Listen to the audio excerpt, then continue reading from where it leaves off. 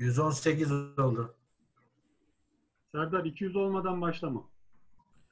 Tamam, siz haber verirsiniz. Yok yok 200'ün altında başlamıyor hocalar yani. Ya ben- ben görmüyorum daha şu anda. Ben de sadece şey var. Murat Hocam isimlerle bir de kameraları filtresini açacağım. Eğer e, onu bir bilgisini verirsen filtre bilgisini sistemden atılınca geri gelemeyecekler çünkü. Tamam. Şimdi saatin tam evet saatte 18 olmuş. Birkaç dakika daha bekleyelim başlayalım. Tamamdır.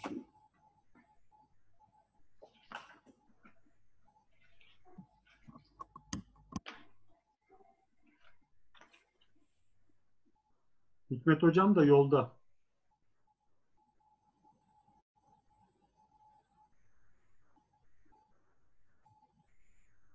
Evet saat 18 geçti. Serdar hocam başlayalım mı? Hay siz nasıl derseniz Sayın Başkan. Şimdi sayın hocalarım herkese iyi akşamlar. Ee, ikinci haftanın ikinci oturumunda Serdar hocamızla beraber olacağız. Altyapıda kuvvet antrenmanları. Öncelikle bir iki e, uyarıyı tekrar yapmak istiyorum. Ee, sevgili Yasin eğer kamerası kapalı olan varsa bekleme odasına geri gönderecek. Eğer ikinci defa geldiğinde de kamera kapalıysa tamamen oturum dışına e, bırakılacak. Aynı şekilde kamerayı açıp duvarı gösteren arkadaşlarımız var. Bu çok e, saygı çerçevesinde uygun olmuyor. Aynı e, uygulama o hocalarımıza da yapılacak. Bilginiz olsun.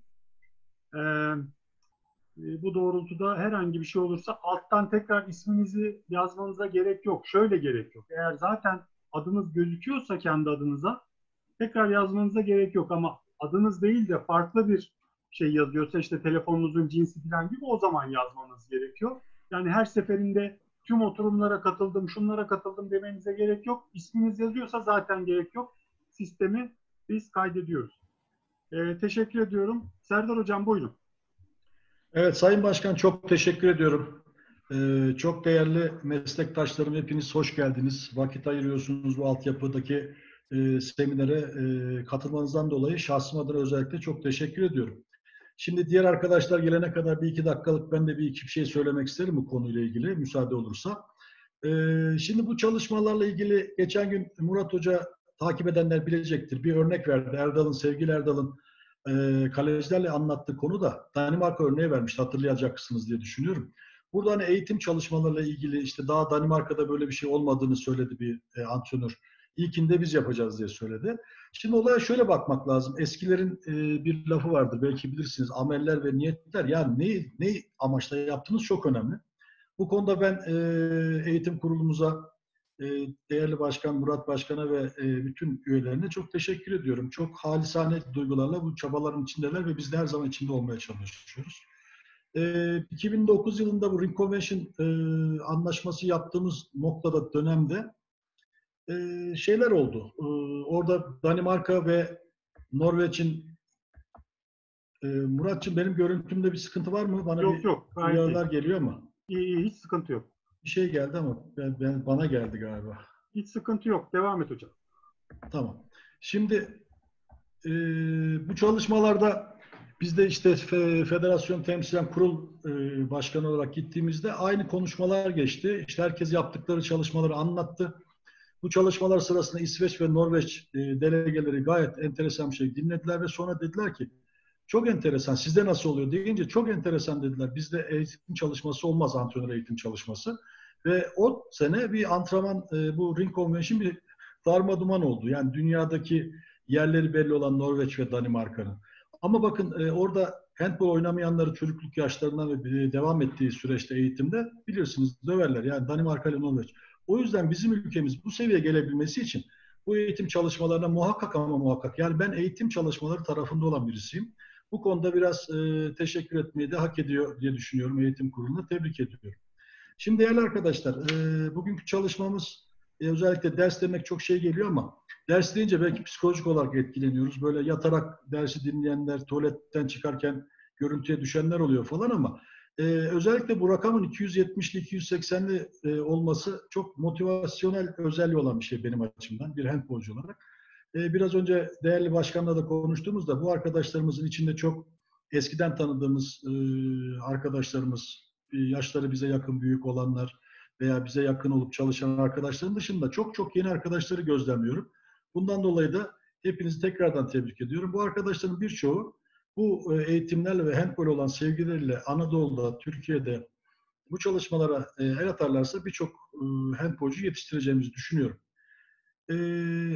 Benim özellikle derse başlamadan önce, yani bu çalışmaya başlamadan önce bir de bir şeyim var. Sevgili Amasya'dan İknur Hoca ile ilgili. Onun rekorunu kırmayı bir ara düşündüm.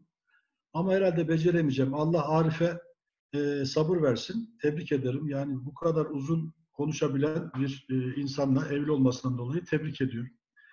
E, tabii işin latifesindeyiz. Bugünkü dersimizde ve çalışmamızda mümkün olduğu kadar altyapılarda kuvvet e, antrenmanı ile ilgili tabii ki teorik bilgiler olacak. Te- teorik bilgiler vereceğiz. Umarım sıkılmazsınız diye düşünüyorum.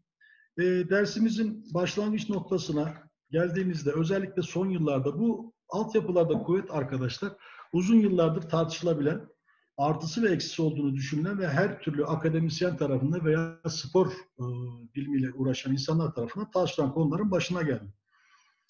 E, özellikle de son yıllardaki bu 10-15 hatta neredeyse 20 yıla varan e, sürede ağırlık antrenmanlarının özellikle ağırlık antrenmanlarının, altyapıdaki ağırlık antrenmanları, kuvvet antrenmanlarına olan ilgi çok artış göstermiştir. Bunları çeşitli literatürlerden takip etme şansına sahibiz. Özellikle de baktığınız zaman literatürde çocukların kuvvet antrenmanlarının etkili ve güvenli olabileceğine dair çok e, ciddi, ciddi alabileceğimiz raporlar vardır. E, biz biraz kuvvet antrenmanının lehinde olduğunu düşündüğümüz bir çalışma yapacağız bugün sizlerle. Bir ders konusu anlatacağız diye düşünüyorum.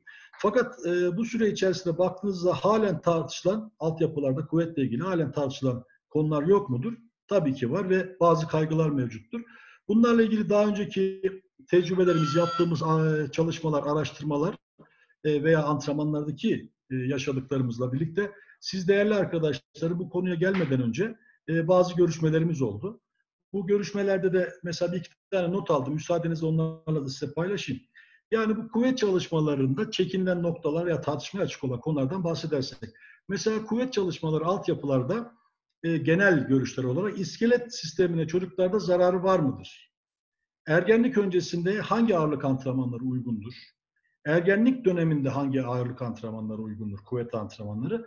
Aslında burada en önemli işlerden bir tanesi bu tür çalışmaları yaparken, altyapıda kuvvet çalışmaları yaparken güvenliği nasıl sağlayabiliriz? Çocukların sağlığını, güvenliğini nasıl sağlayabiliriz diye bazı genel sorularla karşılaştığımızı biliyorum ve sizlerle paylaşmak istedim en başında e, bu çalışmamızın, dersimizin. Bu sorularla ilgili özellikle e, slaytları takip ettiğimizde elimden geldiği kadar da size açıklamaya çalışacağım bu slaytlarda. E, göreceksiniz ki bilimsel gerçeklere dayalı bazı cevaplar olacak ve sizler de bunu fark edeceksiniz diye düşünüyorum. Bununla birlikte çocuklarda kuvvet ve e, kuvvetin gelişimi için benim e, dersin sonunda önereceğim işlerden bir tanesi baştan önermek noktasında. Özellikle ve özellikle altyapılarda çocukların çalışmalarında özellikle de kuvvet çalışmalarında biraz kişisel çalışmalar yer almalıdır. Bütün çocukları aynı e, görmemizde e, çok fayda olmadığını düşünmekteyim. Yapılan ağırlık çalışmalarının, halter çalışmaları sebebiyle sakatlanma riski var mıdır? En çok sorulan sorulardan bir tanesi de veya karşılaştığımız konulardan bir tanesi de bu riskin elimizdeki literatürle baktığımızda yaptığımız çalışma ve sizler de eminim ki aranızda birçok arkadaşımız altyapılarda bu kuvvet çalışmalarını uyguluyorlar. Ee, gördüğüm kadarıyla ve benim bilgilerim dahilinde ve özellikle de e, bu altyapı kuvvet çalışmaları ilgili literatürleri taramaya çalıştığımız noktalarda düşünüldüğü kadar riskin, sakatlık riskinin sanıldığı kadar ciddi boyutlarda olmadığını hatta ilerideki konularda da göreceksiniz tekrardan avantajlarının riskten risk, e, taşıdığı risklerden tabii ki riskler taşıyor. Bu herkes için geçerli. Daha fazla olduğunu göreceksiniz. Burada tabii geçen gün de aynı şeyler oldu. Çeşitli e, derslerde dikkat ettim. E, kendi e, bizim arkadaşlarımız yani şu anki e, öğretim e, görevlisi arkadaşlar bu dersle ilgili konuları anlatırken bir yerde geldi. Hatta soruların birkaç tanesi de vardı. Ekipmanların kullanımındaki zorluklar vardır. Ama burada mesela bilmemiz gereken bir şey ne tür çalışmalar yapacaksak kuvvetle ilgili, hangi e, ekipmanları kullanacaksak özellikle ve özellikle altyapılarda ve ergenlik seviyesinden önceki çocuklarda muhakkak ama muhakkak yardıma ihtiyaç vardır. Bunu unutmayın. Çocukları serbest bırakmamalıyız. Hangi tür kuvvet çalışması yapacaksak. Yine bir e, geri bildirim yapmak isterim. Mesela e, Sayın Başkan Murat e, Başkan'ın 2 metrelik boyuyla gördüğünüz gibi düşerek atış örnekleri verdi bize ve gördük bunları. Yani hatta esprisi de oldu. Oyunculuğum sırasında kaç kere düşmüşümdür. E, sevgili Erdal çok zevkli, insanı kaleciliğe teşvik eden bir çalışma koydu ortaya. Çok da beğendim. Hatta ben biraz da kıskandım. Onun kadar teknolojik olamadığım için bazı videoları koymakta fayda vardı ama ben beceremeyeceğimi düşündüm ve risk almak istemedim açıkçası. Şunu anlatmaya çalışıyorum. Biraz sonra göreceğimiz konular da dahil olmak üzere bundan sonra yapacağımız çalışmalarda da e, mümkün olduğu kadar diyeceğim ama bunu nezaketten diyorum. Be, benim için kesinlik arz eden bir konu. Hareketleri nasıl teknik çalışmalar için geçerse kuvvet çalışmalarında da sporcularımıza kendimizin doğru gösterebilmesi, güvenliklerini sağlayabilmemiz ve çok önemli işlerden bir tanesi gözlemleyebilmemiz için bu hareketleri bizler doğru olarak gösterebiliriz. Yani demoyu doğru yapabilmeliyiz. Gösteri anlatı, göstererek anlatım metodunu çok önemli olduğunu düşünüyorum ve bu konuda da hassasiyetleri sizden rica ederim bir eğitimci olarak. Ee, kuvvet çalışmalarında e, sakatlıklar noktasında e, kaygılardan bahsediyorum size farkındaysanız. Bununla ilgili aşırı yüklenme, çocuklarda aşırı yüklenme söz konusu olmazsa ilerideki yaşlarda özellikle ergenlik süresine geldiklerinde göreceksiniz sakatlık riskini özellikle çapraz bağlarla ilgili sakatlık riskini azaltan faydalı e, çalışmalar olduğunda göreceksiniz. Yani sonuç olarak bu girişi yaparken biraz uzun giriş gibi geldi ama bence söylemekte fayda var. Amacımız nedir kuvvet çalışmalarıyla ilgili? Kuvvet antrenmanlarının yaralanma riskinin de ciddiyetle azalmaya sebebiyet verirken sakatlıklar noktasında da iyileşme sürecini hızlandıracağını lütfen unutmayınız. Ee, bakıyorum e, notlarıma. Yani yine aynı şeyi tekrar etmek lazım. Doğru teknik, gözetim ve doğru ağırlıklarla doğru tasarım, antrenman tasarımı bence çocuklarda gelişimi sağlayacaktır ve sakatlıkları da önleyecektir diye düşünüyorum. Daha sonra konu geldiği zaman bir iki e, hatırlatmam daha olacak. E, arzu ederseniz e, slaytlarımızla derse başlayabiliriz. Öncelikle kuvvetin tanımını çok hızlı bir şekilde geçmek isterim. E, ve mümkün olduğu kadar da dersi daha böyle anaerobik nitelikte anlatmak isterim sizi çok sıkmadan. Mümkün olduğu kadar da sorularınızı cevaplamayı e, isterim diye düşünüyorum. Hepinize iyi dersler diliyorum. E, bu arada e, Sayın Başkan, moderatör nasıl bir e, şey yaparlar ama e, gelenlerden bazı konular var. Çok uzarsa e, Murat Hocam siz lütfen e, bir sigara molası verebilirsiniz eğer sistemimiz uygunsa. Çünkü öyle bir sıkıntılar olabiliyor e, geri dönüşümlerde. Ben arkadaşları sıkan bir e, eğitim elemanı olmak istemem. E, ben başlıyorum derse. Evet arkadaşlar, e, kuvvetle ilgili bir genel bir tanım yapabilirsek, fizikte cisimlerin konumlarını, hareketlerini ve şekillerini değişen etkidir diyoruz fizik olarak baktığımızda. Biyomekanik açısından baktığımızda hareketi ve dengeyi sağlayan etkiler olarak tanımlanabilir. Ama bir başka sınıflamasına baktığımızda ki bu antrenman bilgisi derslerinde çok e, çocukların kafasında karıştıran sınıflandırmalarla birlikte fizyolojik açıdan baktığımızda kuvvetin kasın kasılması sırasında ortaya çıkan bir gerilimi ifade ettiğini görmekteyiz. Kuvvet nedir konusuna devam ettiğimizde bir kütleyi hızlandırabilmek, yavaşlatmak veya e, etkisi altında kaldığımız kütlenin sabit hızını ve pozisyonunu korumak için gösterilen kassal çabaya da biz antrenman bilimi açısından kuvvet diyebiliriz. Sporcunun bir kütleyi hareket ettirebilmesi, yani bir direnci yenebilmesi ya da onu kaslarının çalışma aracılığıyla etkilemesine biz kuvvet diyebiliriz. Ayrıca kuvvet içsel ve dışsal direnmeleri aşmaya sağlayan sinir ve kas yeteneği olarak tanımlanmaktadır. Birazdan zaten özellikle ergenlik öncesindeki kuvvet çalışmalarında lütfen bunu unutmayınız. Sinir ve kas koordinasyonu dediğimiz konu bize özellikle özellikle ergenlik dönemi öncesi kuvvet çalışmalarında neyi bahsettiğimizi ve neden e, bu çalışmaların ne tür e, dikkat etmemiz gerektiğini gösterecektir diye. Buyurun. Sözünüzü böldüm ama e, e, slaytla sanırım bir ilgili problemimiz var. Bir ekran paylaşımını durdurup tekrar slayta geçebilir miyiz hocam? Tamam ne güzel hızımızı almıştık yani ama. Evet kusura bakmayın slayt ilerlemiyor e, ve arkadan görememişler. Öyle mi? Evet. Ee, benim yapmam gereken lütfen söyler misin? Ee, hocam ben görüntünüzü durdurdum. Tekrar e, ekranınızı paylaşırsanız ya da şöyle yapalım. Sen yapabilirsen ben e, göremiyorum tamam. şu anda bir şey. Şöyle de yapabiliriz hocam. Slide'ın e, en kötü. Ben hemen Slide'ı ben indireyim. Uygunsa benden paylaşalım. Siz buradan devam edin. Hay hay.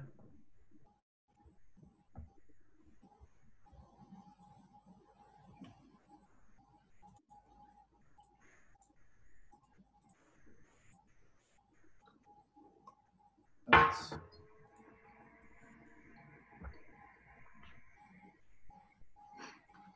Sanırım paylaşım yine şey yapmadı hocam. Bir saniye ben hemen sizin slaytınızı paylaşıyorum.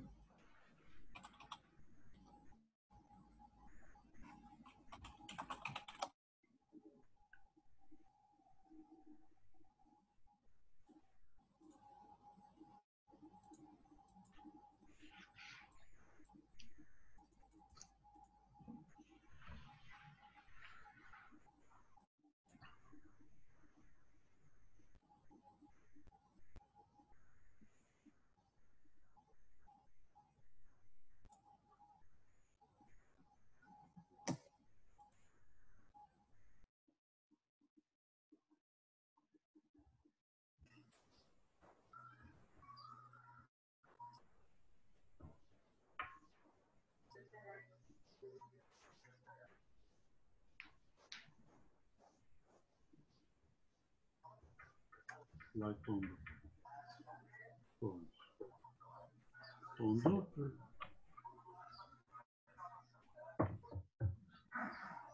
Ee, ben açayım istiyorsan Yasin.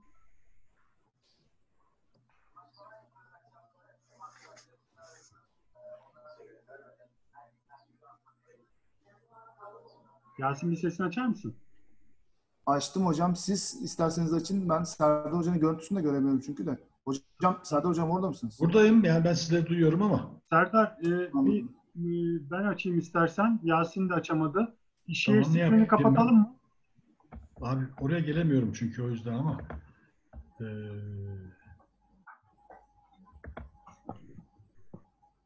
geldiniz ya. hocam. Share şimdi var. geldi zaten. Sizin ekran da geldi hocam. tamam mıyız? Stop share yap hocam. Stop Tamam. share yapayım mı? Tamam. Tamam. Ben şu anda kendimi gördüm. Tamam. Şimdi ben paylaşayım. Ay ay. Geldi mi? Şu anda geldi.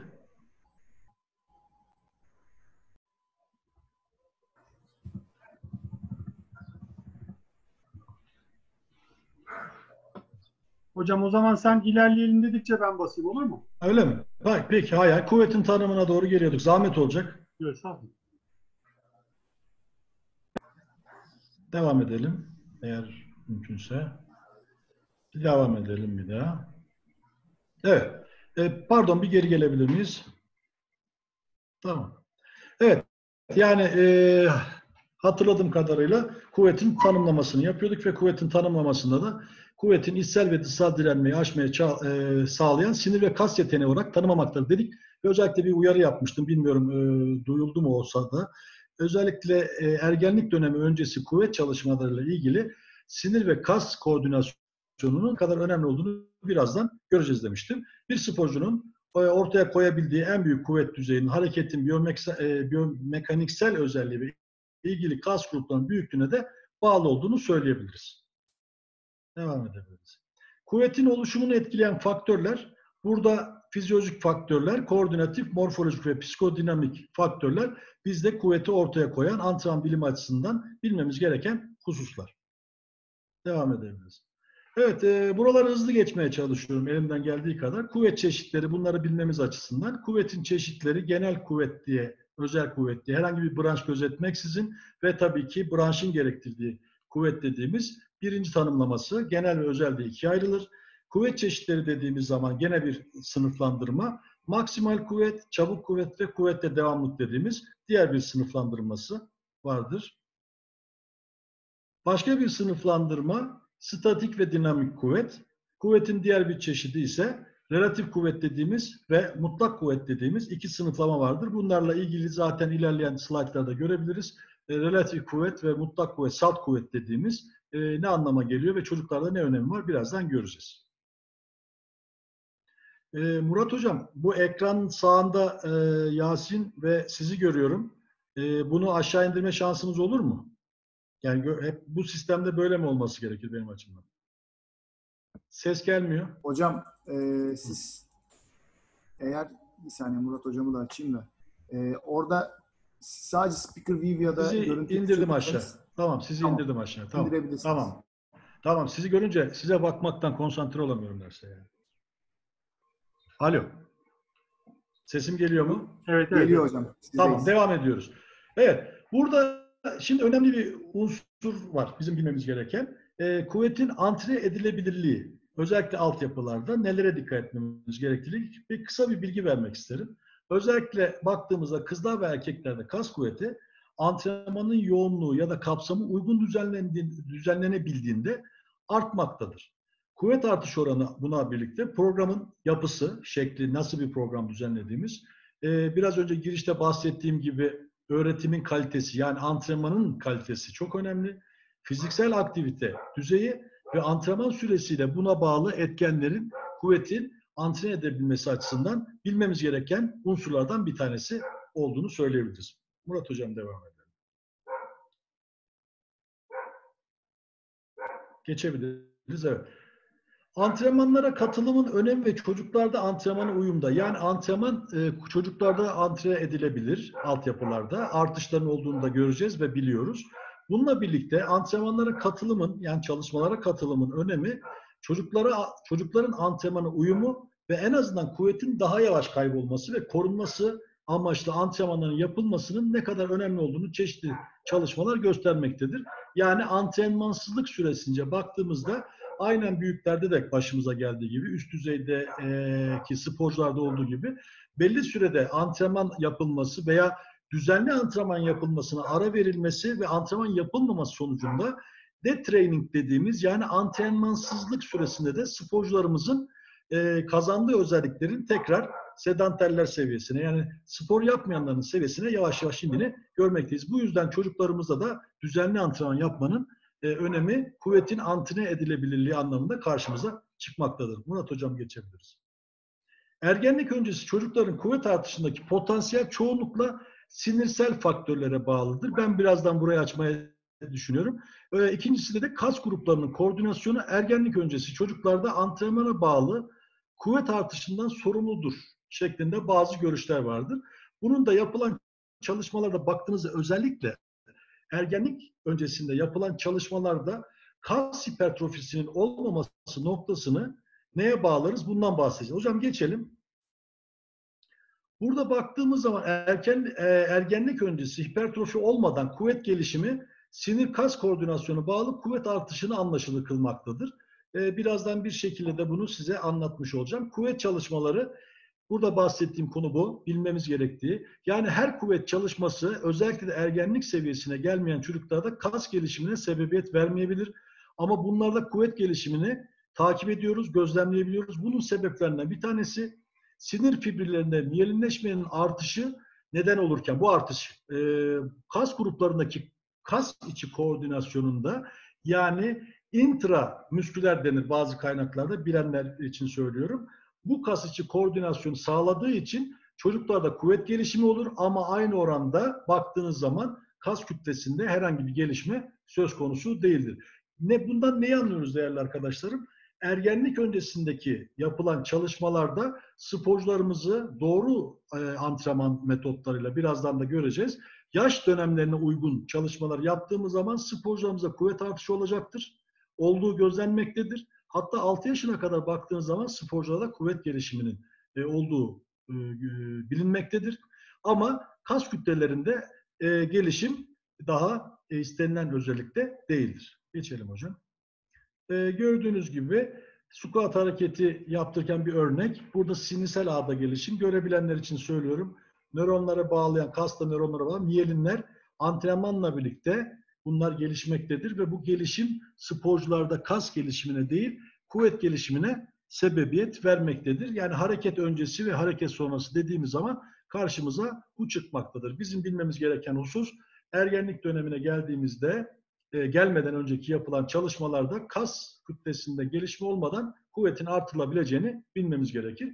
Bunu da e, biraz şimdiki slaytta da zaten e, açıkladığımızı düşünüyorum.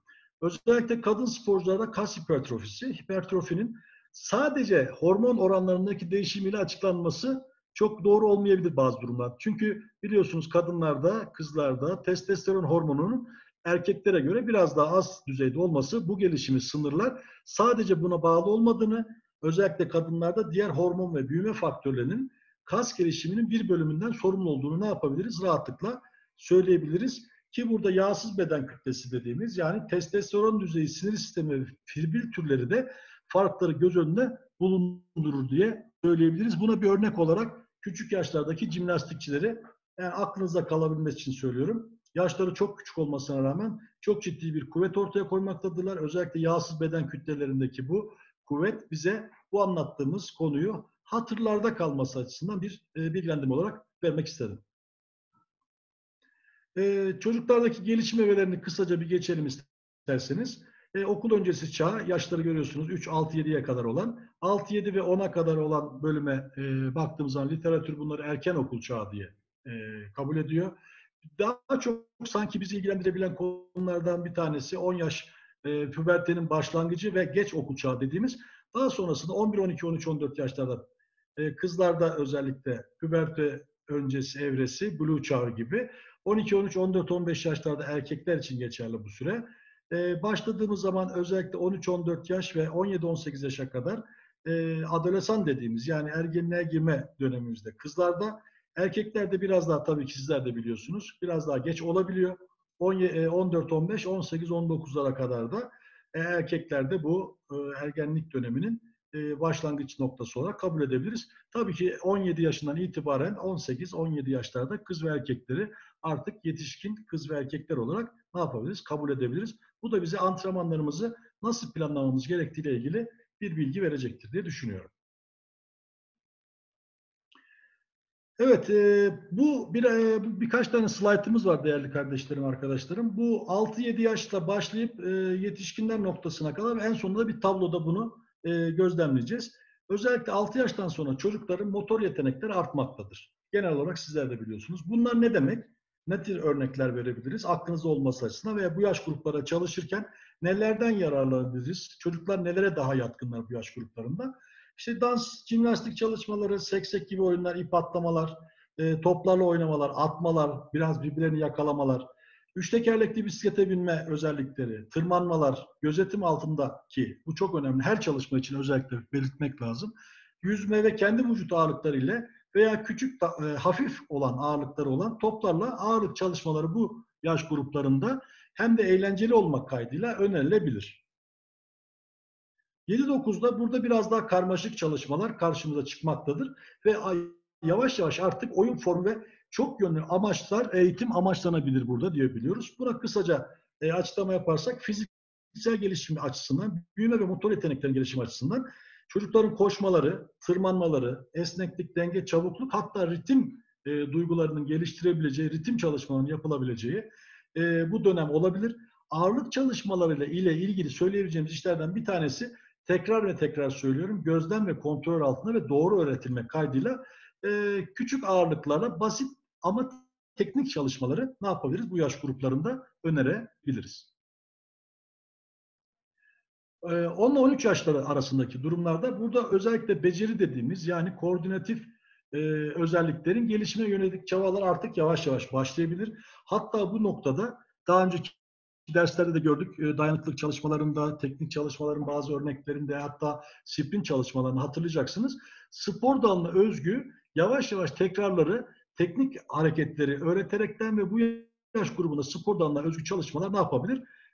E, ortaya konabilir.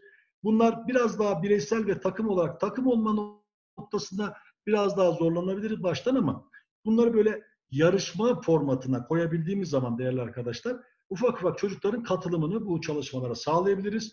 Bu dönemde artık bizim için handball branşımız için çocuklar yavaş yavaş böyle teknik özellikle olmak üzere küçük taktik çalışmalar. Taktik çalışmalar oyun kuralları içerisine yani oyun kuralları bunu el veriyor deyip taktik çalışmalar. Yoksa uzun uzun setler anlamda kesinlikle söylemiyorum. Ve burada oyun kurallarının içerisinde tabii ki teknik gelişimlerin yanı sıra ufak tefek oyunu etkileyebilecek, kendi taktik anlayışlarını ortaya koyabilecek çalışmalar yavaş yavaş yapılmaya başlanabilir. Ee, sevgili meslektaşlarım bu dönemde yani 13-15 yaşlar aslında bence önemli yaşlardan e, başında geliyor bunlar. Bu dönemde çocuklarda hızlı bir büyüme söz konusudur ve e, vücutları biraz daha az esnektir. O esneklik noktasındaki çalışmalara dikkat etmemiz gerekir. Fakat bu noktada artık branşa doğru bilerek gelmeleri söz konusudur. Bu yaştaki çocuklar isteyerek ve katılımı arttırarak gelmeye başlarlar. Buradaki avantajları da bunların bu yaş grubundaki çocukların dikkatlerinin istediğimiz seviyede olması, oyun taktiklerine ve yine dediğim gibi e, kendi aralarındaki teknik gelişimlerine yavaş yavaş artık böyle grup çalışmaları, e, takım çalışmaları ilgili ister istemez taktik çalışmaları ne yapabilirsiniz? Girebilirsiniz ve burada ki en büyük avantaj çocuklar sıfır kilometrededirler bu işte. Verdiğiniz işleri doğru gösterebildiğiniz bütün çalışmaları çok dikkatli dinlerler ve algılarlar ve kabullenirler. Önemli kas grupları ve çok yönlü e, kuvvetlendirmesi, bu kas gruplarının çok yönlü olarak kuvvetlendirmesi burada yavaş yavaş artık vücut ağırlığı veya ek hafif ağırlıklarla devam edilebilir ve daha sonra da göreceğimiz örneklerden core dediğimiz yani karın bölgesindeki çalışmalar, karın ve sırt kaslarının kuvvetlendirilmesi bu yaş grubunda bize ilerisi için çok avantaj sağlayacaktır. Bu çalışmalara bu yaş grubunda yer verebiliriz. E, bu metotlar açısından baktığımızda da kuvvetle devamlılık dairesel çalışmalarla geliştirilebilir. Bu çocuklarda e, en sonunda da e, bir iki önerim olacak zaten maksimal ve submaksimal çalışmalarla ilgili. Ve kuvvete devamlılık ve çabuk kuvvet antrenmanları genel anlaştırmalarla çocuklara bu yaş grubunda verilmeye başlanabilir. E, yeri gelmişken burada şöyle bir şey hemen aklımdayken e, birazcık da nefes almak açısından sadece konsantrasyonumuzu slaytlara vermeyelim ama özellikle ergenlik öncesi ergenlik öncesini belirtiyorum. Yapılacak kuvvet çalışmaları şu ana kadar anlattığımız noktalarda e, tek yönlü maksimal ve submaksimal çalışmaların yanı sıra branşa özgü kuvvet çalışmalarından biraz uzak durmak lazım arkadaşlar. Tekrar edeyim. Özellikle ergenlik öncesi yapılan branşa özgü ve tek yönlü olmak kaydıyla kuvvet çalışmalarından uzak durmalıyız. E, bunu bilirsek çocuklarımızı sağlıklı bir şekilde hem kuvvetlerini geliştirebiliriz hem de bundan sonraki spor yaşantılarına temellerin doğru oluşturduğumuz, düşündüğümüz kuvvet çalışmaları içinde çok önemli temelleri oluşturduğumuzu bu yaş grubunda söyleyebiliriz. 16 ya 18 yaş artık e, literatürün de kabul ettiği ve tahmin ediyorum ki sizlerin de kabul ettiği. Hatta birçok oyuncu ben 16 yaşında A takımda oynadım, 17 yaşında A takımda oynuyorum. Şu anda da e, Türk Handball'da birçok değer var bu konuda. 16-18 yaşlar arasında artık A takım seviyelerinde oynuyor. Literatür de bunları böyle kabul ediyor. Yani yetişkinler seviyesinde, üst düzey seviyesinde gelişime ve gelişmeye e, hazır namzet sporcular olarak görebiliriz ve becerileri artık yetişkinler düzeyinde gelişim noktasında bize e, bazı ipuçları vermeye başlamıştır. Burada dikkat ve algılama çok iyidir ve tamdır. Kuvvet kazanma üzerinde artık çalışmalara ne yapabiliriz? 16-18'den sonra yani ergenlik döneminde başlayabiliriz. Kuvvet gelişimin en yüksek olduğu dönemdir arkadaşlar. Kuvvet de gelişimi e, birçoğunuz bilirsiniz diye düşünüyorum ama Kızlarda 20 yaşlarına kadar ve 20 yaşı civarında en yüksek güç e, kuvvet noktasında. Erkeklerde bu biraz daha uzundur biliyorsunuz. E, 20 30'lu yaş arasında erkekler kuvvetlerini korurlar. Hatta e, bizim gibi biraz da kuvvetli olmayı gerektiren e, branşlarda bu yaş 35'lere kadar artık son yıllarda çıkmaya başladı. Bunu da bilmek açısından söyleyeyim dedim. Burada çabuk kuvvet, maksimal kuvvet ve kuvvetli devamlık antrenmanları artık sporcularımızın vazgeçilmezlerinin içindedir. Özellikle handball branşı için. Ve tüm kas gruplarına yönelik ve çok yönlü, gelişimi açık olmasını istediğimiz çok yönlü e, ve sistemli dediğimiz gibi doğru anlatımla bu yaş gruplarında artık kuvvet çalışmalarını yapabileceğimizi spor bilimi bize göstermektedir. Çocuklarda kuvvet gelişimi yaşa paralel olarak boy, kilo iskelet sistemindeki kaldıraç oranındaki kas kitlesinde meydan gelişme paralel olarak artar. Bu genel bir bilimsel bir veridir. Şimdi arkadaşlar bugün şu noktaya kadar anlattığımız e, slaytlarda anlatmaya çalıştığımızı tablo olarak karşımıza görürüz ve bu tablonun sanki sanki bizlere birazcık böyle bir ipucu vereceği, bundan sonraki çalışmalarımızda nelere dikkat etmemiz gerekir ve hangi metotları ne, hangi dönemlerde izlememiz gerektiğiyle ilgili bazı ipuçları verecek bir özet olmuş aslında bu. Bu özeti e, sizlerle paylaşmak isterim ve bundan da yararlanacağınızı düşünüyorum açıkçası. e, gördüğünüz gibi bu tabloda 4 ile 6 yaşta teknik öğretime yönelik ağırlıksız kuvvet antrenmanı uygulanabilir. Bakın ne diyor? Uygulanabilir. Yani kuvvet antrenmanları 4 ile 6 yaşta da verilebilir. 6-10 yaşa kadar baktığımızda hafif ağırlıklar ve çok tekrarlı dayalı yani kuvvette devamlık çalışmalar yapılabilir. Ve hafif ağırlıklarla ufak tefek artık atmalar ve küçük sıçramalarla bu çalışmaları yapabiliyoruz. 10-12 yaşa geldiğimiz zaman arkadaşlar düşük dirençleriyle branşın tekniklerini anımsatan koordinatif kuvvet çalışmaları yapılabilir.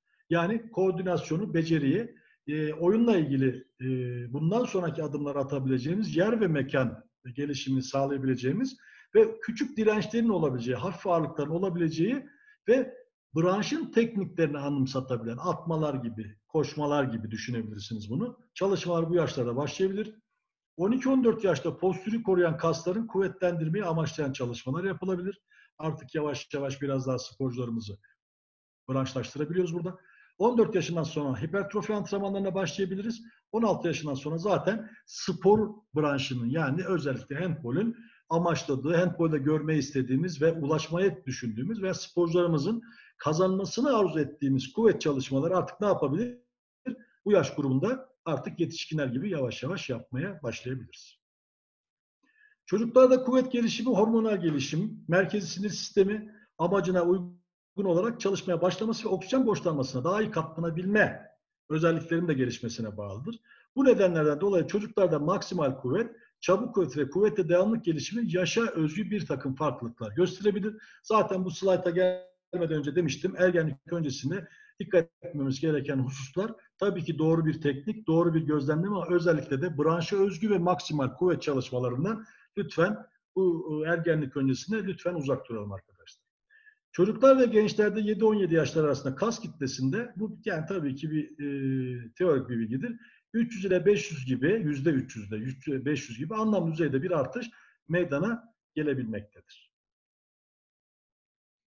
6-8 yaş grubunda ise bulunan çocukların küçük kas gruplarına gelişim meydana gelirken büyük kaslar ile küçük kaslar arasında koordinasyon düzeyi düşüktür. Yani biz bunu bilmemiz gereken kas içi kaslar arası koordinasyonun düşük olduğunu bileceğiz. Bu çocuklarda kas gruplarında gelişim meydana gelmektedir ama kendi arasındaki koordinasyonu sağlayacak düzeyde değildir. Maksimal kuvvet gelişimine baktığımız zaman puberte dönemine kadar kız ve erkeklerde maksimal kuvvet gelişimi paralel olarak görülür. Bu da hepimiz tarafından kabul edilmiş bir şeydir. Özellikle altyapıda çalışan öğretmen veya antrenör arkadaşlarımız bunları bilirler. Ve puberte döneminden sonrası ise erkeklerin lehinde, erkeklere avantaj sağlayacak şekilde belirgin farklılıklar görülür. Bunları zaten bildiğimizi düşünüyoruz. Erkeklerde maksimal kuvvet gelişimi 10-13 yaşlar arasında önceki dönemlere göre düşe, düşük, düşük, düşük bir düzeydeyken 13-14 yaşlarında tekrardan hızlanmaya başlar.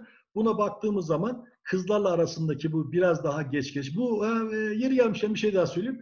Her zaman güç gelişimi bu yaş gruplarında kızlardan biraz daha geride gelir erkek çocuklarında. Bu gelişim hormonal düzeye bağlı olmakla birlikte antrenmanla gelişen hipertrofi bu gelişimde etkendir. Yine birkaç slayt öncesine hatırlatma yaparsak bakın sinir kas sistemi e, üzerine bir şey söylemiştik. Hipertrofiyi sağlayan e, en önemli unsurlardan bir tanesi testosteron hormonunun miktarıdır. Özellikle de ergenlik öncesinde bu miktar düşük olduğu için bilmemiz gereken şeyi tekrardan hatırlatmak fayda var. Kasların koordinatif yeteneklerinin gelişmesi ve sinir miyolinlerindeki kalınlaşma e, yeterli testosteron salınımı olmasa bile bakın güç gelişimine bahsediyoruz. Kas kütlesinden değil, sporcularımızda, çocuklarımızda güç gelişimini sağlayacaktır. Bunu bilmemizde fayda var. Evet, yani bunu tanımlayıcı bir şey. Kız çocuklarında ise 14 yaş dolaylarında bu kuvvet gelişimi artık kendini e, tamamlamaya başlamıştır. Bu yaşlarda kızlar, e, bu yaşlara ulaşabilen kızlar e, bu değeri ancak sistemli antrenman planlamasıyla aşabilirler. Yani burada artık normal gelişimlerini getirirken çocuklar artık kız çocuklarının özellikle antrenman yapmanın, kuvvet antrenmanı yapmanın bundan sonraki spor yaşantılarında ve kuvvetlerini geliştirmesine en önemli etkenlerden birisi olduğunu söyleyebiliriz. Çünkü yine geriye dönersek hatırlatma, testosteron seviyesi her zaman erkeklerden çok daha azdır. Bu sebepten dolayı e, kuvvet çalışmaları ve kuvvet çalışmalarının yanı sıra sporcuların devamlılığı, kız çocukların devamlılığı bu yüzden önem arz etmektedir. Kuvvetli devamlılığın gelişimi konusuna geldiğimizde özellikle kız ve erkek çocuklarına benzer düzeyde olmaktadır. 10 yaşından sonra ise erkeklerin az da olsa kuvvetli devamlılık lehine yönlenir diye çıkan çalışmaları da gözlemlemiş durumdayız. Kızlarda 12 yaşında en yüksek değerine erişir ve 13 yaşından sonra kuvvetli devamlılık gelişimi kızlarda erkeklere nazaran e, durağan noktadadır. Çok küçük böyle istatistik olarak çok anlamlı olmadığı söylenebilir.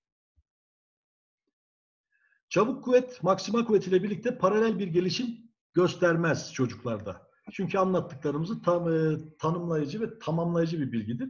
Maksimal kuvvet çalışmaları zaten dediğimiz gibi ergenlik noktasına gelene kadar yapılmamalıdır. Dolayısıyla da çabuk kuvvetteki gelişim maksimal kuvvetten daha farklıdır. Bunu zaten gözlemleyebiliriz.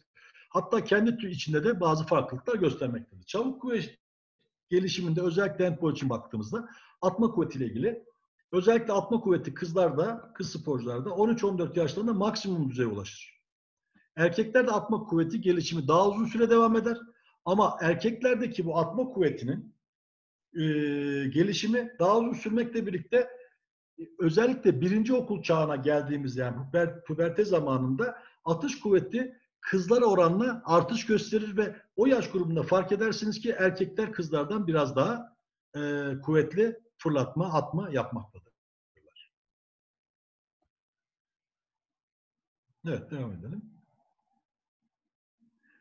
Fırlatma kuvveti bu çabuk kuvvet türünün bir çeşidinde fırlatma kuvveti yani topu atma anlamında baktığımız zaman kendi branşımızda 14-15 yaşına kadar bu kuvvetteki gelişimi gözlemleyebiliriz.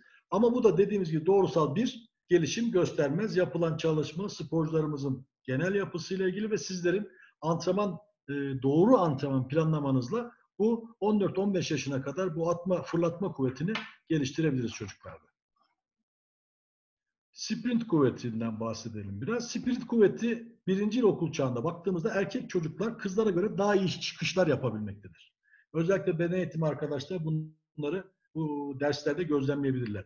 Ve bu aradaki fark her zaman biraz daha erkeklerin lehine artış göstermektedir. Ve bu dönemin sonuna doğru baktığınızda kız çocuklarının maksimum sprint kuvvetine ulaştıklarını görürüz.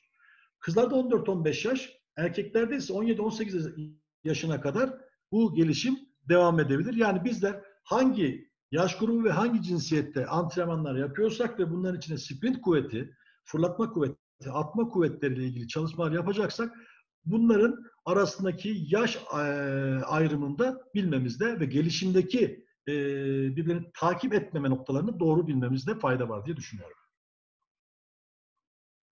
Devam edelim. Devam edelim. Yatay ve e, dikey sıçrama kuvvetinden bahsedersek okul çağının başından itibaren düzenli bir gelişim başlar. Ve sıçrama kuvveti, sprint kuvveti ve fırlatma kuvvetinin aksine maksimal kuvvetli uyum gösterir. Zaten antrenman biliminde de baktığımızda genel anlamda da yetişmiş sporcularda da baktığımızda sıçrama kuvvetinin en nok en son noktalarda yani diğer özellikleri yani maksimal kuvvetin geliştiğinden sonra sıçrama kuvvetinin daha etkin olduğunu görmekteyiz. Yani bunu bilmemiz acele etmemize bazen e, sebebiyet vermeyecektir diye düşünüyorum. Yatay ve dikey sıçrama, sprint, e, fırlatma ve atma kuvvetinden daha geç e, uyum gösterir. Yani çünkü maksimal kuvvete ihtiyacımız vardır. Devam edelim Murat Hocam. Yatay ve e, dikey sıçrama kuvvetinde 12-13 yaşlarına kadar kız çocuklarıyla erkeklerin dikey sıçrama ve uzun atlama performanslarının birbirine benzer düzeyde olduklarını gözlemleyebiliriz. Puberte döneminden sonra ise erkeklerde kızlara göre daha iyi sıçrama performansı gözlenmektedir. Bu yaş dönemi çabuk kuvvetiyle yakından ilgili spor dallarına başlama yaşıdır. Yani biz de e, branşlaşma noktasında yavaş yavaş 12-13 yaşlar hatta 11 yaşlarına kadar e, bu kuvvet çalışmalarına e, başlamakta fayda var diye düşünüyoruz. Ergenlik döneminde erkeklerin genel kuvvet düzeyleri kızlardan yüksektedir. Bunun temelinde erkeklerde testosteron hormonunda meydana gelen artışlar yatmaktadır. Biraz öncekine tekrarı gibi gördüğünüz gibi. Özellikle de erkekler 13 yaş döneminde testosteron salınımının ve kuvvet gelişiminin hızlı olduğu bir döneme girerler. Bundan sonra erkeklerin neyine kuvvet gelişimi biraz daha e, pozitif yönde ilerlemektedir. Ee, Murat Hocam bir iki dakika ara verelim mi? Nasıl arzu edersin Sayın Başkan?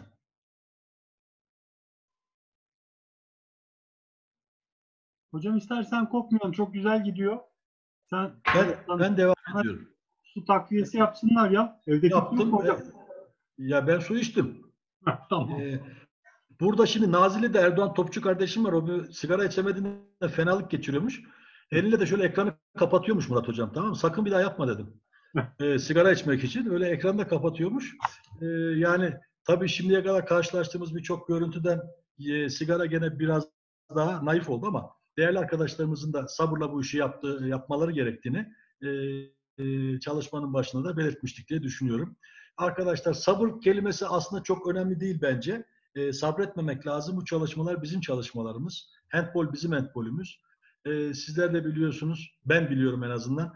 Altyapı e, handball'ün efendisidir. Altyapı benim için çok önemli. E, hatta müsaade ederse Sayın Başkan, ben aslında ara vermiş gibi de davranayım birazcık çaktırmadan. Söz vermiştim çünkü bir iki dakika ara vereceğim diye. E, mesela benim çalıştırdığım takım açısından baktığınızda iki senedir altyapıdan yetişen çocuklar e, takımın temelini oluşturuyor.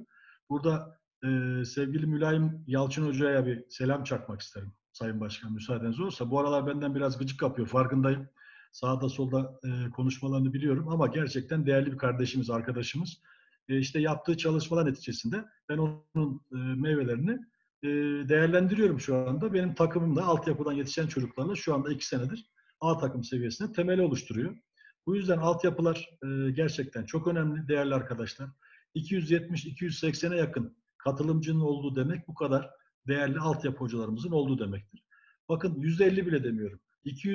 200'ün küsuratı 70 e, değerli arkadaşımız bu altyapı çalışmalarında e, bilimsel e, ışıktan da yararlanarak kendi tecrübelerine katarak onar tane sporcu çalıştırsa 700 kişinin handbole başlaması, handbol oynaması söz konusudur.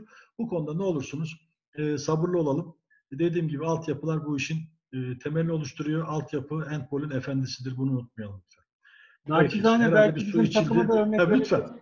Serdar Hocam. Yani Murat Hocam şimdi zaten hani şöyle siz sürekli e, gündemdesiniz bu çalışmalarla. Yani gerçekten sen benim diyorum arkadaşlar artık yanlış anlamasın. Çocukluk arkadaşımızın biz birlikte Ortaş Yenişehir'den başladık. Çok şükür bugünlere kadar geldik. Burada da sen tabii e, nezaket gösteriyorsun. İniş çıkışlı bir handball yaşantısının içinde kendinle ilgili. Sen en kritik dönemlerde bile bu eğitim kurullarında her zaman benimle çalışma nezaketi gösterdin. Beni davet ettin. Ben de sen olduğun için her zaman bu işin içinde oldum. Bu, e, sizin bu piyango takımının yani spor toto takımının da e, neler yaptığını, neler yapacağını bu süreç içerisinde hepimiz gözlemliyoruz. Tabii sizler sürekli hani e, bu çalışmalar içinde örnekler verdiği için lütfen yanlış anlama. Ben hani kendi takımım deyip biraz da mülayime top atayım istedim. Yoksa çok değerli bir e, altyapıdan getirdiğim takım ortada. Süper Lig'de de neler yaptığını görüyoruz ve birçok arkadaşımızın altyapılarda çıkarttığı e, sporcu kardeşlerimizin ne kadar güzel handball oynadıklarını görüyoruz. Teşekkür ederim. Yani rica ederim ya gel- Güneş Balçık'ta sıvanmıyor. Dedim ya Mülayim Yalçın benden gıcık kapıyor bu aralar ama hakkını vermek zorundayız yani. E, altyapıda bu, bu bir sembol. İşin esprisi. Şaka kaldırdığını da biliyorum. Aslında beni de çok sevdiğini biliyorum. Ben de onu seviyorum. Bunu böyle bir sembol arkadaşlara altyapının ne kadar önemli olduğunu anlatmak için e, hem de bir nefes alalım, ara verelim diye böyle bir araya sıkıştıralım istedik. E, tekrardan dediğim gibi handball bizim için altyapılarla müsemmalıdır yani. Evet, devam edebiliriz herhalde. Sigara içenler içmiştir, suyunu içenler içmiştir diye e, düşünüyorum. Evet, kuvvet antrenman programı hazırlama. E, burada çocuklar ve gençler için hazırlanacak kuvvet programının yetişkin programıyla aynı yönetimde basamaklar izlenmelidir. Bakın burada bir cümle var. Eskiden e, başka kaynaklara da baktığımız zaman bir de çok sevdiğimiz bir kelimeydi bu. İşte çocuklar hiçbir zaman büyüklerin kopyası değildir. Burası tamam zaten şu ana kadar anlattığımızda neleri ne zaman ne zaman yapmalıyız ve niye yapmamalıyız noktasına baktığımız zaman karşımıza geliyor. Ama baktığımızda bir kuvvet programını hazırlarken birazdan göreceksiniz. Yani temelden başlayıp gelişme noktasına gidene kadar e, A takım yetişkin programıyla aynı bilimsel, yönetsel, yöntemsel basamakları izlenmesi gerekmektedir. Bu ikisi birbirle karışmaması gerekir. Yani bilimsel olarak bu basamaklama A takımdaki veya yetişkin programıyla aynı yolu izlemelidir. Evet, gerekli analizlerin yapılması, bir kuvvet çalışması yaparken neler olacak? Ee, bunlar spor dalının değerlendirilmesi, yani handball ile ilgili tabii ki adı üstünde. Sporcunun değerlendirilmesi, devam edebiliriz. Alıştırmaların seçimi arkadaşlar. Yani başlangıçta spor dalı ve sporcular. Aslında antrenman biliminde de program hazırlarken bir dersi anlatırken hatırlayanlar olacaktır diye düşünüyorum. Veya daha önce bu dersi görmüş olanlar. Böyle bir planlama yaparken planlamanın ön şartları vardır. İşte sporcudaki ön şartlar, antrenördeki ön şartlar, sonra uygulama, metodik metodik alanın seçilmesi, uygulama, denetim diye böyle peş peşe giden bir silsile vardır. Aslında bizim şurada anlattığımız konu bu dersin bir konusu. Yani kuvvet antrenmanı hazırlarken öncelikle branşı iyi tanımalıyız. Branşta katılan sporcuların kim olduğunu bilmeliyiz. Hangi yaş grubunda, hangi cinsiyette olduğunu tabii ki altyapılar için konuşuyoruz. Ve buradan sonra da alıştırmaların doğru seçimi söz konusu değerli arkadaşlar. Asıl ve yardımcı alıştırmalar. Yani temelde hedeflediğimiz çalışmalar ama çalışmaları temel ve basamaklamayı sağlayacak yardımcı alıştırmaları doğru seçeceğiz. Genel ve spor dalına özgü alıştırmalarla başlayabiliriz. Genelden özele doğru giden egzersizler, çalışmalar, diriller hazırlamalıyız. Kullanılan araçlara göre alıştırmalar yapmalıyız. Kendi vücut ağırlıklarıyla ilgili alıştırmaları doğru planlamalıyız. Murat Hocam devam edelim. Ve antrenmanın şiddeti dediğimiz yani antrenmanın yoğunluğu ve tekrar sayısını doğru belirlemeliyiz. Tabi bunların hepsi bahsettiğim gibi birinci madde branşın ve branşa katılanların genel e, yapısını bilmemiz kaydıyla. Yani antropometrik yapısını, morfolojik yapısını, yaşını, cinsiyetini, spor geçmişini bilmek kaydıyla ve bizim elimizdeki bilimsel e, verilerle bu antrenmanların yoğunluğunu yani şiddetini ve tekrar sayılarını doğru belirlemeliyiz. Yüklenmenin sıklığı ne aralıklarla yapacağımız e, diye ve yüklenme hangi sıklıklarla ne tarz yüklenmeler yapıldı ki burada bir ek bilgi hani antrenman bilimi kurslarında seminerinde görürsünüz bu yüklenmenin şiddeti ve sıklığı e, farklı karakterli farklı şiddette olduğu takdirde e, gelişime açıktır. Bu ayrı bir konudur. Uzun bir zaman e, sonra inşallah uygun bir zaman sonra inşallah bu çalışmalarda sizlerle paylaşırız diye düşünüyoruz. Yani aynı sıklıkta, aynı şiddetle ve aynı karakterli antrenmanları sürekli peş peşe yaparsak sporcularımızı e, sürantireye, bıkkınlık noktasına, sakatlık noktasına ve istediğimiz e, e, süper kompanze dediğimiz yani aşırı tamlam istediğimiz form durumuna getiremeyebiliriz. Bu da ekstra bir bilgiydi. Herhangi bir ücret istemiyoruz bu konuyla ilgili. Evet. Antrenmanın sıklığı önemli. Hangi sıklıklarla antrenman yapıyoruz? Bu da bizim için gelişim anlamında, programımızı hazırlama anlamında, antrenman planlaması anlamında karşımıza çıkacak önemli ipuçlarından bir tanesidir. Kuvvet antrenman yöntemleri özellikle altyapıda diyoruz ama genel anlamda baktığımız zaman kuvvet antrenman yöntemleri temelde iki grup altında toplanabilir. Zaten e, modern çağda gördüğünüz gibi böyle TRX aletler falan güzel şeyler çıkmaya başladı. Eskiden bizde bar vardı biliyorsunuz, serbest ağırlıklar. Sonraki yıllarda çok sevindik. Ya değişik değişik makineler geldi ama çok şükür hem ülkemiz hem spor bilim açısından baktığımızda ne yapabiliyoruz? Herhangi bir şekilde istediğimiz, planlayabildiğimiz, hayal ettiğimiz ve hangi özelliği geliştirmeyi, hangi çalışmayla geliştirmeyi düşündüğümüz egzersizlerle ilgili birçok alete artık ne yapabiliyoruz? Sahip olabiliyoruz. Burada baktığımız zaman ağırlık çalışmalarıyla yani serbest ağırlıklar, makinalarla, özel geliştirilmiş makinalarla bunların kullanımı elastik band çekişleri ve TRX ve bunun gibi serbest ağırlıkların içine bir sürü şey yerleştirebilirsiniz. Sizler de bunları e, biliyorsunuz ve çalışıyorsunuz. E, kuvvet gelişimini ağırlık çalışmalarıyla yapabiliriz.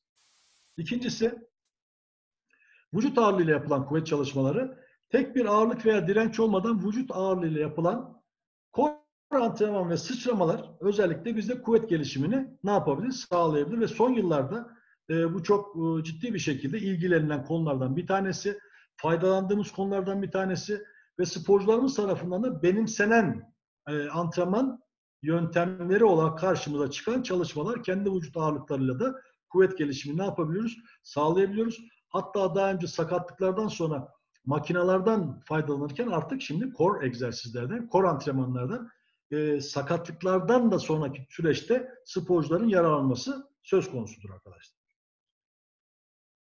Kuvvet antrenman yöntemlerinde devam ettiğimizde direnç antrenmanlarının pubert öncesi çocuklarda yöntemleri kusurlu birkaç çalışmalarla kuvvet antrenmanı etkili olmadığına dair yanlış bir kanı yaratmıştır. Yani en başta başladığımızda hatırlıyorsanız bazı sıkıntılar yaratabilir mi?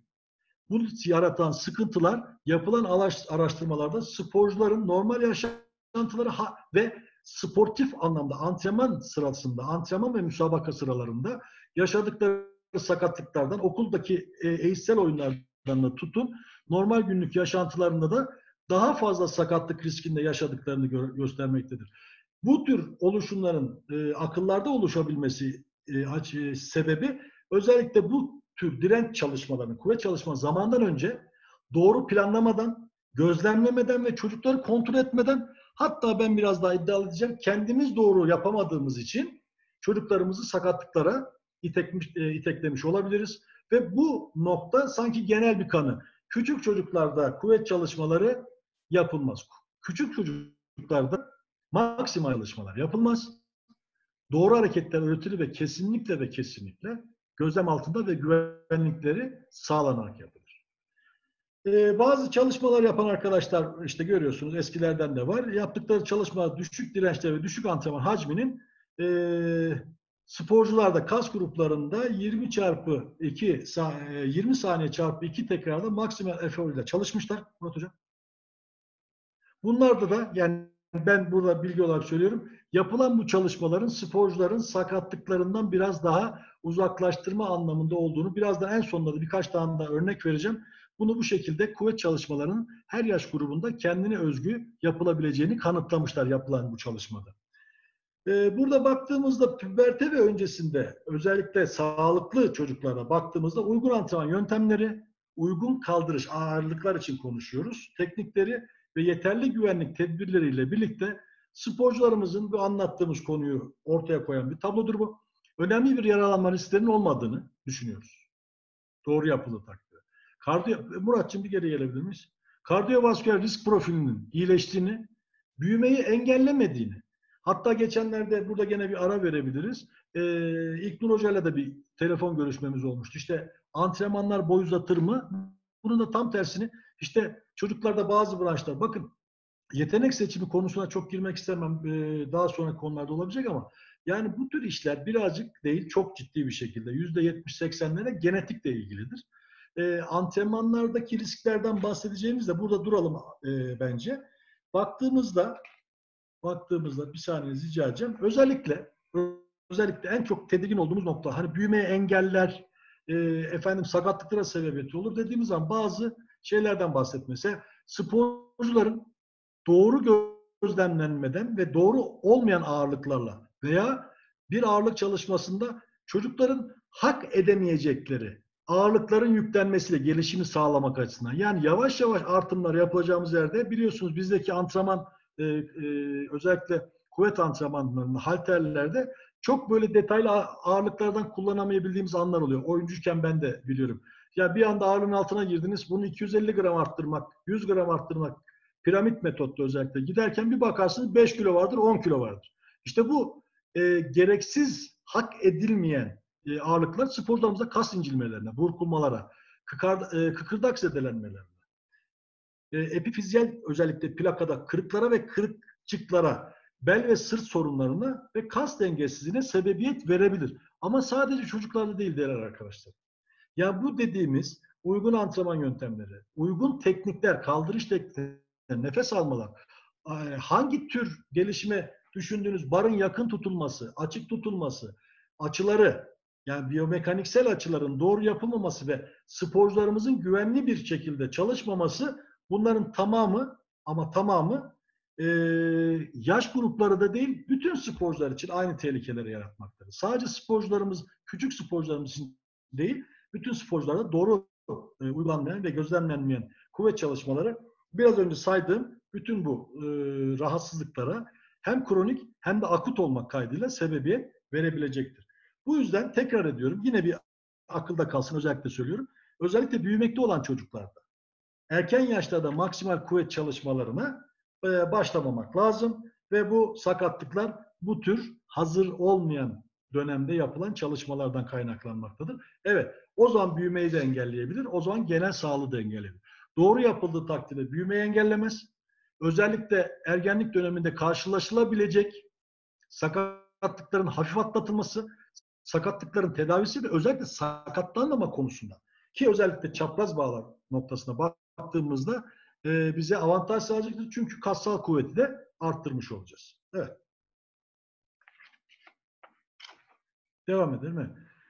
Şu ağırlık çalışmalarına baktığımızda gene bir hatırlatma noktasına puberte öncesi uygulanan kuvvet antrenmanı ile antropometrik ölçümlerde hipertrofinin görülmediğini söylemiştik. Sebebini de anlatmıştık. Sinir e, hücreleri ve ka- e, sinir fibrilleri ve e, kas koordinasyonu ile birlikte çok da küçük olsa hipertrofi belki yani çok da e, kayda değer, istatistik anlamı olmayan bazı değerler bunlar.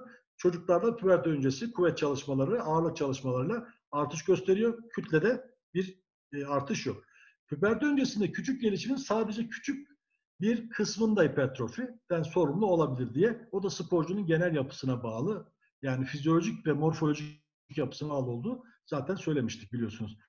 Puberte döneminde ise kız ve erkek çocuklarda kuvvet antrenmanının kas kütlesinde daha belirgin artışlar belir başlıyor. Burada artık kas kütlesi artarken aynı şekilde yapılan düzenli doğru antrenmanlarla sporcularımızın hem kas kütlesinde bir gelişim söz konusu aynı oranda da kuvvette gelişim söz konusu olduğu söylenebilir. Ee, bunlarda nelere dikkat etmeliyiz arkadaşlar? Buraya kadar geldik. Ağırlık çalışmalarında e, hızlı bir şekilde biraz hatırlatmalarımızı yapalım. Bunlar da öneri olarak lütfen kabul edin.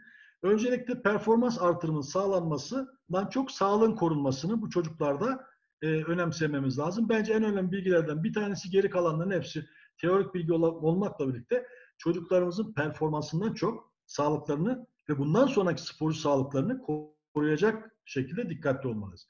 Doğal büyümeyi ve gelişimi desteklemedir bahsettiğimiz dönemler.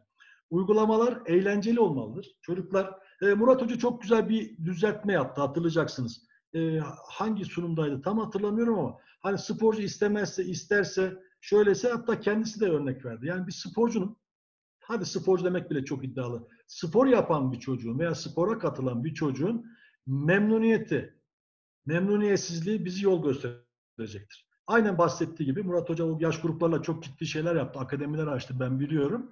Ee, bizden daha da tecrübeli. Yani uygulamada da daha tecrübeli. Çok da güzel anlattı. Bir çocuk mutsuzsa önce bir kendimizi bir sorgulamalıyız. Antrenman programımızı yani hani planlama demiştik ya ön şartlarımız. Burada çocuğun eğlencesi ve katılımı çok önemlidir. Gittiği zaman ben bir daha gelmek istemiyorum veya çok doğru bir şey, çok yoruldum. Demek ki bu o çocuğa göre bir şey değil. Yani canım hiç istemedi, hiç de eğlenceli değil. Bu şu anlama gelmiyor. E, senin istediğini mi yapacağız? Evet değil. Ama biz ne yapabiliriz? Çocuğun da istediğini ve kendi amacımızı yönelik olarak ne yapabiliriz? Değiştirebiliriz. Biliyorsunuz arkadaşlar planlamalar esnek olmalıdır. Durum ve şartlara göre değişiklikler ne yapabilir? Gösterebilir. Çünkü bu antrenman bilimleridir. Yani antrenmanın içinde tek bir doğru yoktur. Öyle mi? Yani tek bir doğru antrenman programı yoktur. Doğru birdir amaca yönelik gitmek. Ama sizin zenginliğiniz vardır. Diril seçme zenginliğiniz vardır. Al, alıştırmaları seçme, çeşitlendirme ve zenginleştirme, eğlenceli hale getirme aynı amaca uygun. Baktığınız zaman avantajınız vardır. Bunları lütfen unutmayalım. Programların hedefleri bahsettiğimiz gibi yaşa ve biyolojik gelişim kademesine göre değişiklik göstermedir. Özellikle o tabloda onu bir kopya şeklinde size verdim. Bunlar bundan sonraki antrenman programlarında size ışık tutacaktır. Kaldırışların güvenli ve etkin bir şekilde gerçekleştirilmesi ve bu alanda çocukların bilgilendirilmesi. Burada yine bize çok iş düşüyor arkadaşlar. Öncelikle biz doğruyu bilmeliyiz. Nefes alma teknikleri, teknik hareketlerin uygulanışı, ağırlık kaldırmadaki doğru teknikler bizim kendimiz tarafından en azından bir kere gösterilmesi ondan sonra çocuklara doğruyu yönlendirmemiz açısından çok avantajlı olur. Çocukların doğru bilgilerle bu çalışmaları yapması bizim hem performans, ilerideki performans hem de sağlık yönündeki gelişimi sağlayacaktır diye düşünüyoruz. Ee, çok önemli özellikle makine çalışırken ve ağırlıklar tabii biraz daha önemli. Ekipmanların çalıştığımız araçların, gereçlerin çocukların fiziksel yapılarına, boyutlarına göre ne olması gerekir? Doğru olması gerekir. Ters bir harekette bazı sakatlıklara sebebiyet vermememiz lazım. Yani ergonomik yapıyı çocuklara göre ne yapmalıyız? Ayarlayabilmeliyiz. Çocukların olgunluk düzeyine göre uygun antrenman programları yapılmalıdır. Yani yaşları ne gerektiriyorsa onu yapmalıyız. Teknikleri kadar dirençler de düşük kullanılmalıdır arkadaşlar. Tekrar sayıları yüksek ve baktığımız zaman bu dirençlerin e, düşük kullanılması ve artışların da yine kendi oranında elimizden geldiği kadar aletlerin veya içinde bulunduğumuz e, tesisin, spor tesisini veya kullandığımız araç gereçlerin e, geçer yani doğruluğu söz konusu olacak burada ama lütfen burada dikkat etmemiz gereken şeyler özellikle tekniği öğretirken çok düşük, direnci düşük olan e, aletlerden yararlanmamız gerekir. Uygun kaldırış tekniklerine ulaştıkça direnç arttırılmalıdır. Yani hareketi doğru yaptıktan sonra istediğimiz noktada dirençleri ne yapabiliriz? Yükseltebiliriz. Ama hareket doğruysa. Ee, hızlı uzama ve sonrası tam olgunluk düzeyine kadar maksimum maksimum kaldırışlar yapılmalıdır. Çocuklar biliyorsunuz özellikle 13-15 yaşlarından itibaren ve o yaşlara başlangıçlarında ani uzayışlar göstermektedirler. Kolları, bacakları uzayacaktır. Tabii tekrardan biyomekanik noktasına geldiğimiz zaman kaldırış sistemlerini e, yani bir, bir bilmemiz gerekir diyeceğim ama biyomekanik ne kadar ilgimizi çeker bilmiyorum ama biz antrenör olarak bu ani uzamaların çocukların özellikle kıkırdak ve epifiz e, kemiklerine zarar vermemesi açısından doğru tekniklerle doğru açılarda kaldırılmasını ve maksimal kaldırışları bu süreçlerde yapmamamız geldi, e, gerektiğini bilmemizde hepimiz adına fayda var.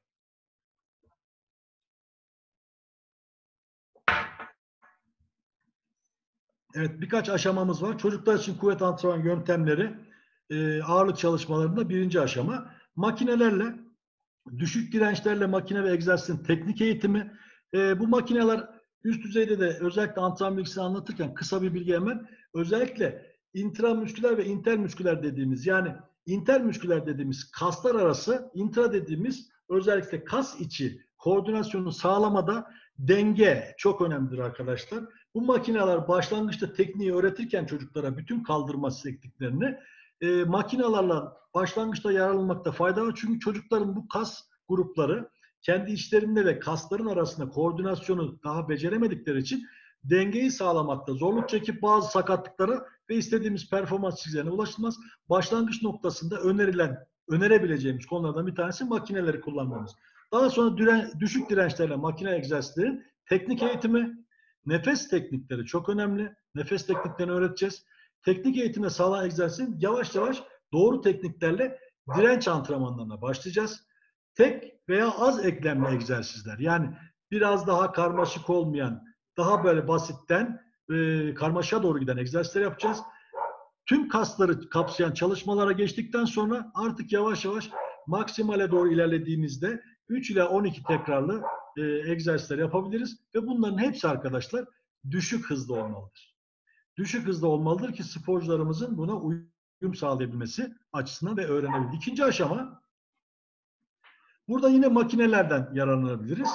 Az eklemli egzersizler, tüm kasları kaplayan seanslar, çalışmalar yani 8 ile 20 tekrara kadar yükseltebildiğimiz direncin düşük olduğu ama antrenman öncesinde serbest ağırlık egzersizleri, teknik eğitimi özellikle dumbbell ve barlarla gösterebilirsek bu sporcularımızın bundan sonraki e, yaptığı çalışmalarda bizim karşımıza doğru tekniklerle ağırlık kaldırmaları anlamına gelir. Yine de unutmamamız gereken ustalardan bir tanesi ikinci aşamada düşük hız önemlidir. Yani hızımız düşük olacak. Sporcular doğru tekniği doğru ağırlıklarla uygulayacaklar.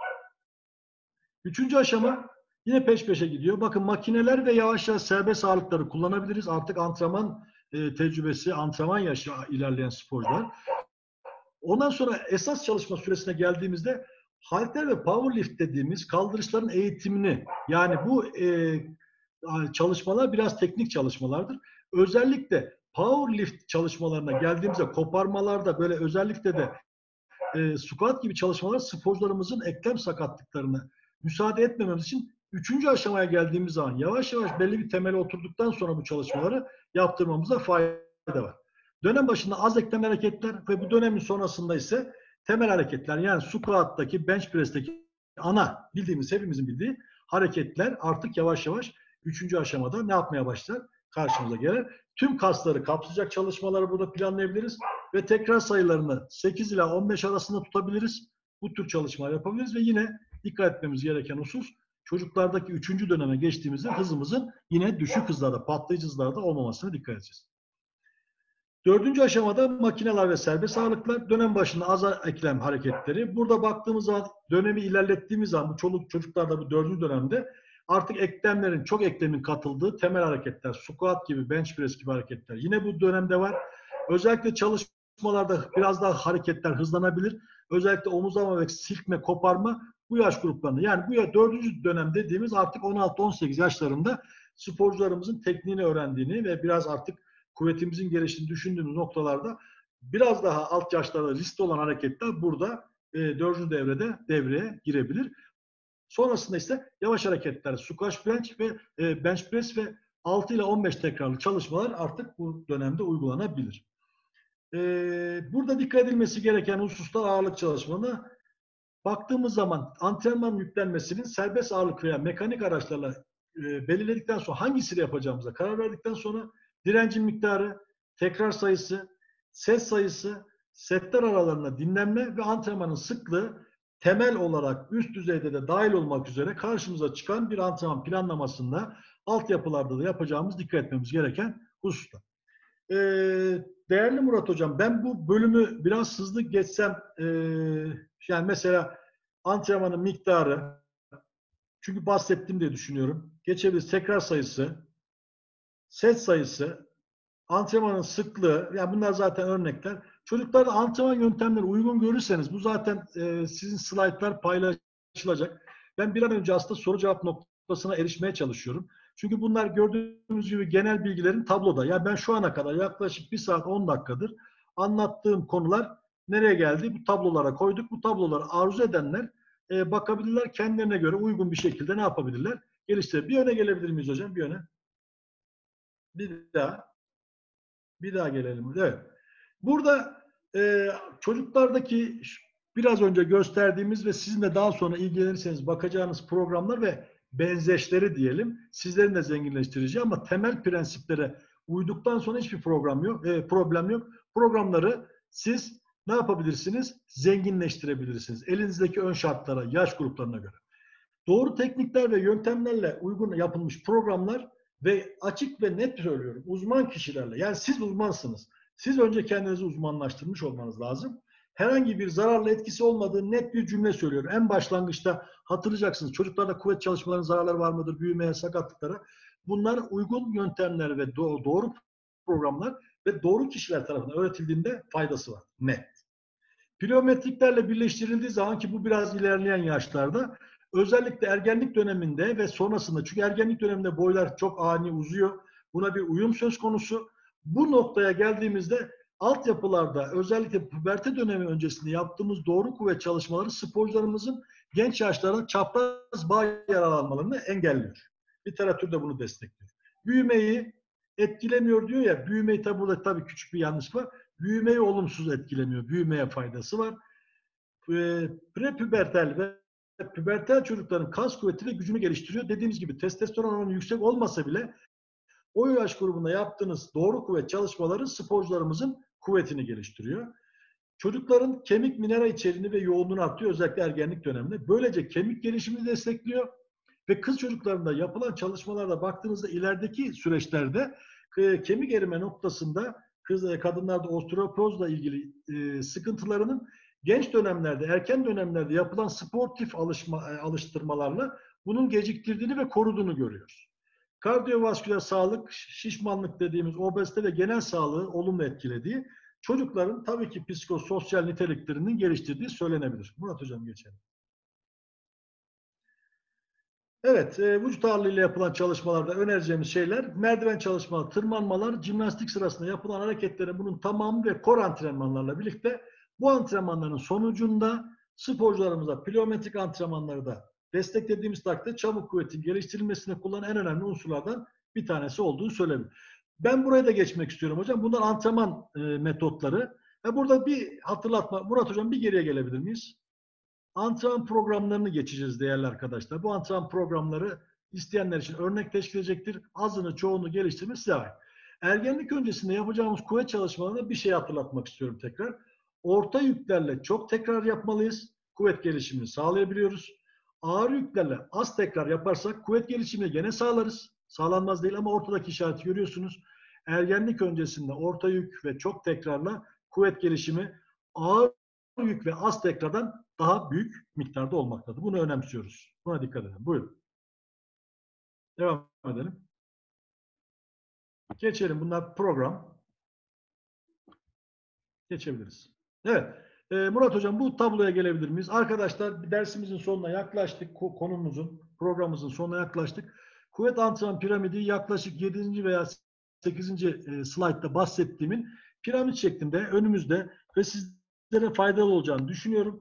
aşağıdan başladığımız zaman 6 yaşına kadar teknik öğret tekniklerin öğretimine yönelik ağırlıksız çocukların kendi hoplama, zıplama, ip atlama, bir yerden bir yere sıçrama çalışmalarıyla ilgili özellikle 6-10 yaş arasında hafif ağırlıklarla çok tekrara dayalı kuvvet çalışmaları, 10-12 yaşta hafif ağırlıklarla atma kuvveti ve sıçrama kuvvetinin gelişmesine yönelik e, bu yaşta az dirençte branş tekniklerini anımsatan koordinatif kuvvet çalışmaları yapmak lazım. Yani 12-14 yaş aralarında postürü koruyan kasların kuvvetlendirilmesi ve 14 yaşından sonra hipertrofi antrenmanı dedikten sonra da 16 yaş ve üstünde artık üst düzey e, antrenman, kuvvet antrenmanları ne yapabiliyoruz? Yapabiliriz. Bu da sizin cebinizde en azından neyi ne zaman yapılması gerektiği ile ilgili bir bilgi olsun isterim. E, burada Murat Hocam çok hızlı e, böyle 3'er 4'er saniye durabiliriz. E, arkadaşlar değerlendirebilirler. Anlattıklarımı destekleyen, sakatlıklarla ilgili, gelişimle ilgili e, değerli antrenman bilimi e, bilim adamlarının yaptığı çalışma ve kaynakları burada Murat Hocam, değerli arkadaşlarım. Buradaki yapılan çalışmanın küçük özetleri var. Burada nelere farklı e, destekler olduğunu göreceksiniz. E, geçelim Murat Hocam. Buralardan yararlanabilirsiniz. Bu kaynaklara ulaşma şansınız var. Kaynakları yukarı belirttim. E, yapılan çalışmaların aşağıda neleri yaptıkları, işte kemik gelişimine destekleri falan falan falan. Burada da gördüğünüz gibi e, bazı çalışmaların kaynaklarını oraya koydum. E, değerli eğitim kurulumuzun e, sayfasında bunu herhalde bulacaksınız diye düşünüyorum. Bundan sonrasında da e, bu kaynaklara ulaşmak isterse en azından sizlere bu konuda da birazcık yardım olsun istedim. E, değerli arkadaşlarım, e, özet yapmamız gerekirse bir işte e, baktığımız zaman süremiz bitiyor mu Muratçım? Hocam süremiz gayet güzel. Tam Tamam. soru cevap bölümüne geldik. Müsaade müsaade ederseniz çok kısa bir özet yapmak isterim. Şu ana kadar anlattıklarımızı. Ee, yani özellikle çok üstünde durduğum farkındayım ama zaten böyle. Ergenlik öncesi ve sürecinde kuvvet artışını sağlayan e, sistem tam açıklığa kavuşmamış ergenlik öncesinde. Özellikle kızlar ve erkeklerde bazı farklılıklar var. Bunu bahsettik. Diğer hormonların devreye girmesi kızlarda etkili. Erkeklerde testosteron oranın önceki yaş grubunda başladığımızda düşük olması ama bilmemiz gereken husus ergenlik dönemine kadar hem kızlarda hem erkeklerde doğru yapılmış kuvvet çalışmalarının kuvvet gelişimine etkisi olduğunu bir kere bileceğiz. Çalıştırmalarda göstermiş ki testosteron seviyesi bu artışa izin vermekte e, birlikte ergenlik döneminde ama öncesinde sinir fibrilerinin ve kas koordinasyonu. Demek ki biz buna yönelik antrenman yapacağız. Bunları bilmemiz gerekir. Sadece hiper, hipertrofi amaçladığımız antrenmanlar ergenlik dönemine kadar bizi bazı yanlışlara ötebilir diye düşünüyoruz. Bazı çalışmalarda 6 yaşına kadar kuvvet gelişimini görüyoruz ama özellikle 10 yaşına kadar kuvvet gelişimi göstermektedir. Özellikle erkekler hangi süreçte olursa olsun bunu bilmemiz gerekiyor. Kızları her zaman takip etmişlerdir. Yani kızların kuvveti her dönemde erkeklere göre biraz daha önden gelişme göstermiştir. Ergenlik döneminde kas kütlesi ve kastaki kuvvet, kuvvet özür dilerim artış göstermektedir. Şunu söylemek isterim. E, doğru programlama ve programlamalarımızın denetlemesinin doğru yapılması kas kuvvetini, kas gücünü, kas dayanıklılığını, sakatlık riskini ve spordaki boş zaman aktivitelerin doğru değerlendirme açısından sosyal anlamda da çocukları doğru yönlendirdiğini düşünebiliriz diye e, söyleyip konuyu bu şekilde çok da e, kurcalamadan bitirmek isterim. E, değerli başkan ve sevgili katılımcılar e, gördüğüm kadarıyla da ilginiz yerindeydi diye düşünüyorum. E, başkana, moderatörümüze herhalde söz versem daha iyi olacak şu dakikadan sonra.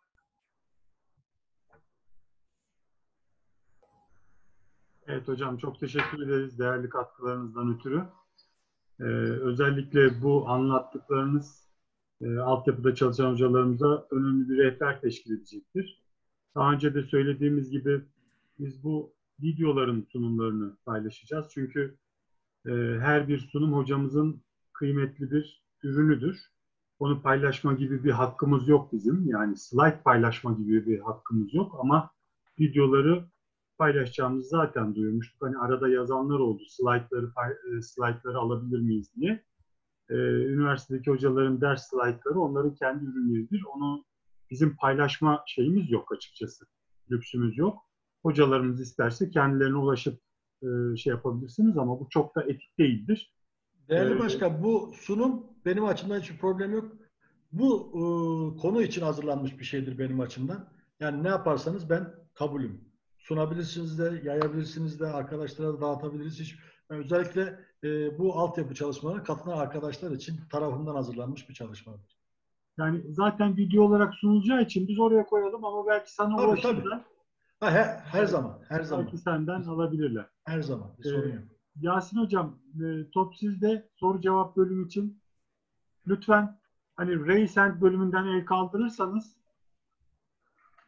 Evet, şu anda Murat Hocam, Metin Akan Hocam Evet. elleri gözüküyor. Ee, Murat Hocam, buyurun hocam. sözünüzü kestim ama e, el kaldıran arka hocalarımın yanında e, nacizane mikrofonum açık olduğu için benim bir sorum olacak Serdar Hocam'a bu e, nöromüsküler kuvvet gelişimiyle ilgili. Hocam şimdi e, miyelinleşmeden bahsettiniz. Puberta öncesi miyelinleşme daha hızlı ve e, puberta döneminin sonuna doğru da miyelinleşme oranı düşüyor. Peki e, kad- kad- yani kızların e, puberta dönemlerinin erken oluşmasında e, bizim egzersizlerde bu miyelinleşmeyi hızlandıracak ya da tamamlayacak bir egzersiz paketini egzer, e, antrenmanın içine koymamız gerekiyor mu? Çünkü daha erken yaşlarda miyelinleşmeyi tamamladıklarında sonraki ileriki yaşlardaki kuvvet antrenmanları bizim için dezavantaj sağlar mı bu konuda? Yani şöyle bir şey sevgili Yasin, bu çalışmalarda hep bahsetmeye çalıştığımız kızların erkeklere, erkeklerin kızlara göre artı ve avantajları veya dezavantajları ilgili bir şey söylemeye çalıştık. Bu konuda, bu dönemde bunları mesela sorduğun sorunun içinde aslında doğrusunu söyleyerek gidiyorsun. Sorunun cevabı var bunun içinde zaten. Evet. Yani aslında soru değil bir ekleme gibi olduğunu düşünüyorum Yasin. Yani Tamam. ben böyle kabul ediyorum. Ee, erkeklerdeki olay hani hep söylediğimiz şeyler, genel bilgiler, işte testosteron seviyesi, kuvvet, kas kütlesi. Bizim derdimiz zaten burada kas kütlesi değil puberteden önce. Ama kızlarda da sadece ve sadece özellikle erken erkeklerden biraz daha erken ulaştıkları bu noktada sadece testosterona bağlayamayız. Hayatın birçok döneminde hangi dönem olursa olsun kızlar zaten erkeklerden testosteron seviyesi olarak düşüktür. Ama orada bir not vardı hatırlarsın. 14 yaşlarında bu kuvvete ulaşmaktalar. Bundan sonrasının devamı arttırılması artık yaş olarak değil antrenman kalitesi ve antrenman yükleriyle oluyor. Söylediğin soruya, e, söylediğin eklemeye diyeyim. E, katılıyorum. E, kız erkeklerde özellikle puberteden önce biraz daha farklı çalışmalar yapılabilir. Tabii dediğim gibi biraz fizyoloji noktasında anlamak da çok önemli. Tabii ki bu mesela sinir miyolinleri falan dediğim zaman sinir miyolini altyapıda kaç kişi nerede görecek? Amacımız bizim burada miyolinini görmemiz değil, o yaş gruplarında en optimal, Murat Hoca'nın güzel bir lafı, hani maksimal, minimal, optimal. Optimalden aslında bizim derdimiz verimlilik. Yoksa orta şiddet anlamını hiçbir zaman söyledi değil mi Murat Hocam? Yani öyle bir derdimiz yok. Optimal bizim verimlilik aslında. Optimalden en iyisi, en verimlisini kastediyoruz performans açısından. Yoksa kelime karşılığı maksimaldir, minimaldir, optimaldir değil. Optimal bizim için en doğrusudur. Mi En enerji, Doğru, en az... doğru anlamış mıyım senin dediğini? Evet hocam. Yasin sağ ol. Yasin Hocam, e, yani Murat- müsküler dediğin için istersen e, Serdar Hocam müsaade edersen Estağfurullah, bir lütfen. katkı sağlamak isterim. Şimdi nöromüsküler antrenman dendiği zaman işin içerisine izole egzersizlerden çok multi joint dediğimiz egzersizler yani çok Evet. eklemli egzersizler giriyor. Altyapıda e, aslında bunları yapmak ağırlıksız olarak bunları gerçekleştiriyor olmak özellikle hem intramüsküler hem intermüsküler uyumu nöromüsküler antrenman adı altında sağlıyor. Aslında nöromüsküler antrenman şu anın popüler terimlerinden biri. Eskiden yapılan şeylerden çok farklı değil ama şimdi yeni böyle çok seviyoruz biz popüler e, tanımlamaları, terimleri. Bence yani e, kız erkek ayrımından çok e, izole egzersizlerden öte, yani izole egzersizlerden kastım diğer hocalara açıklamak için söylüyorum. Tek eklemin çalıştığı egzersizlerden çok multi joint dediğimiz çok eklemin devreye girdiği fonksiyonel hareketler daha katkı sağlar diye naçizane düşünüyorum. Teşekkür ederim hocam. Sağ olun. O zaman e, ben sorumu sağladıktan sonra Murat Öre, Örel hocam el kaldırmış. Ona bir ses gönderdim. Kabul ederse.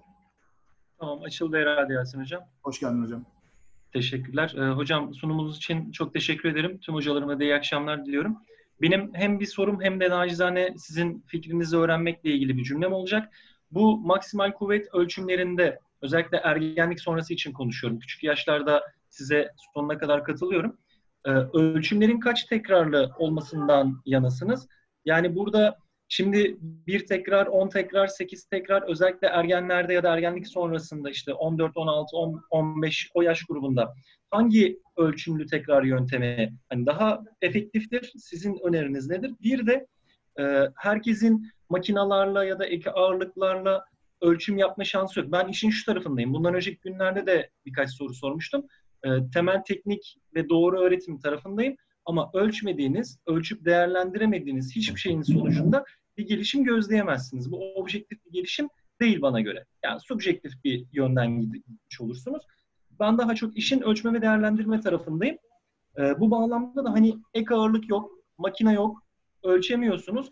Kendi vücut ağırlığınızla ölçme yapmak istediğinizde maksimal kuvvetine yönelik örneğin squat hareketi için ya da lunge, bacak açma, adım atma hareketi için kendi vücut ağırlığıyla nasıl yapabiliriz ya da nasıl yapmalıyız? O sorunuz zaten e, sevgili Murat ben senin görüntünü görmüyorum bilmiyorum ama yani e, Hocam, Pardon bu benden kaynaklı. Yok çok önemli değil. Çok önemli değil. Şimdi Çok önemli değil. Yani e, şu anda sorduğun sorunun kapsamına baktığımız zaman senin bir problemin yok aslında. Böyle bir cevabı da biliyorsun bence. E, güzel bir soru. Soru ama şöyle yani ben zaten biliyorum da diğerlerini anlat gibi olduğunu da anladım. Birincisi vücut ağırlığıyla ilgili yapılan çalışmalarda çok basit bir form var. Sevgili Sedat hocamızın kitabından da bulabilirsiniz. Birçok arkadaş bulabilir. Se- Sedat Hoca biliyorsunuz bu çocuk ve spor konusunda çok değerli kitapları ve yayınları var. Ama Aynen yine hatırlatmak açısından baktığımızda vücut ağırlığındaki yüklenmenin şiddetini bulabilmek için vücut ağırlığı yaptığımız çalışmalarda mesela bir dakikada maksimal bir tekrar alırsınız. Maksimal bir tekrar. Yani ne diyelim buna mesela? Ee, mekik diyelim. Hı hı. Bir dakikada bir dakika boyunca sporcu kaç tane mekik yapabilir? Çünkü zaten senin sorduğun sorunun ölçümü herhangi bir makinesi olmadığını ben de bir görmedim. Yani maksimal vücut ağırlığı yapılan çağ kuvvette ölçebiliriz. Sorunun cevabı bu. Hı hı. Ee, ama şeyi de ölçemiyoruz. Mekik'te bir dakika boyunca maksimal mekik çektiririz. Daha sonra bunun yüzde onuyla yani formül bu. Formülü veriyorum. Yüzde onu ile 50'si arasında toplamında bir değer alınır. Örnek veriyorum. Örnek veriyorum. Bir dakikada 20 mekik çekiyorsa bir sporcumuz, çocuğumuz kaçta mesela? Bir dakika boyunca 20 mekik çekebiliyor. Bunun yüzde onu ile 50'sini birleştirip arasını aldığımız zaman 10 ila 18 arasında tekrar 50 ise 50, 10 ise 10. Çocuğun yaşına göre de bakabiliriz. Burada mesela bu tür formüller kullanabiliriz ama formüllerin içinde diğeri, diğer sorduğun sorunun cevabı e, biz A takım seviyesinde de kendim de sporcuyken ve uygularken ben özellikle maksimali bir tekrarda almadan her zaman çekinmiş bir insanım. Kendimde ve sporcularımda. Sanki ideali e, anladığını yani neyi sormak istediğini biliyorum ben. Ben çok tekrarlıdan Burada- yanayım. Çok tekrarlıdan yanayım. Yani bu da 6 ile 10 tekrar testini e, kullanabilirsek. E, Tamam. Bir de tabii üst düzeyde bu biraz daha kolay. E, sporcularınız iyi kötü eğer kendi iş dünyasında size karşı dürüst olması çok önemli değil mi? Kendi dünyasında dürüstse bu 6-10 tekrarda çok büyük bir sakınca. Bu da benim e, antrenör olarak bakış açım. Çok tekrarda maksimal almayı düşünebiliriz. Çok teşekkür ederim. Çok sağ olun hocam. Sevgili Murat sağ ol. e, Metin Akan hocam size mikrofonunuzu açabilirsiniz hocam. Sesim geliyor galiba. Evet hocam sizdeyiz. Buyurun. Evet. Ee, öncelikle sunum için teşekkür ediyorum Serdar Hocama. Ee, hocam ben yaklaşık bir yıldan beri hep antrenörlüğü yapıyorum. Bu Yavuz Hocam'ın sunumunda söz almıştım daha önce. Hocam, hocam sağa çektin değil mi? Çektim, çek, çektim hocam. Çünkü Şu ses an- böyle acaba debriyaj vites falan aralıklarına gidip geliyor mu? Ona tam böyle kesik geliyor çünkü. yok, yok yok hocam şu an park halindeyim sorun yok. Tamam. Ha, aman diyeyim. Ee, Serdar Hocam ben yaklaşık bir yıldan beri yani daha önce 2009-2010 sezonunda bir okul takımı çalıştırmıştım handball takımı. Şu an e, İstanbul Tepe'de bir kulüp takımı çalıştırıyorum yaklaşık bir yıldan beri. Ee, bende şu an bir lise bir grubu var. Yaş olarak 14-15 yaş grubu. Bunların spor yani yarısının spor geçmişi yok daha önceden. Ee, ve ben şu an Tepe'de bir gençlik merkezini fitness salonu kullanabiliyorum. Bu pandemi sürecinden sonra da fitness salonunda haftada 3 gün olarak süre aldım.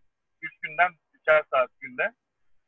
Bu lise grubunu çalıştırmaya başladım. Yalnız ben şöyle yapıyordum. O haftada bir gün eğer kullanabileceksem maksimal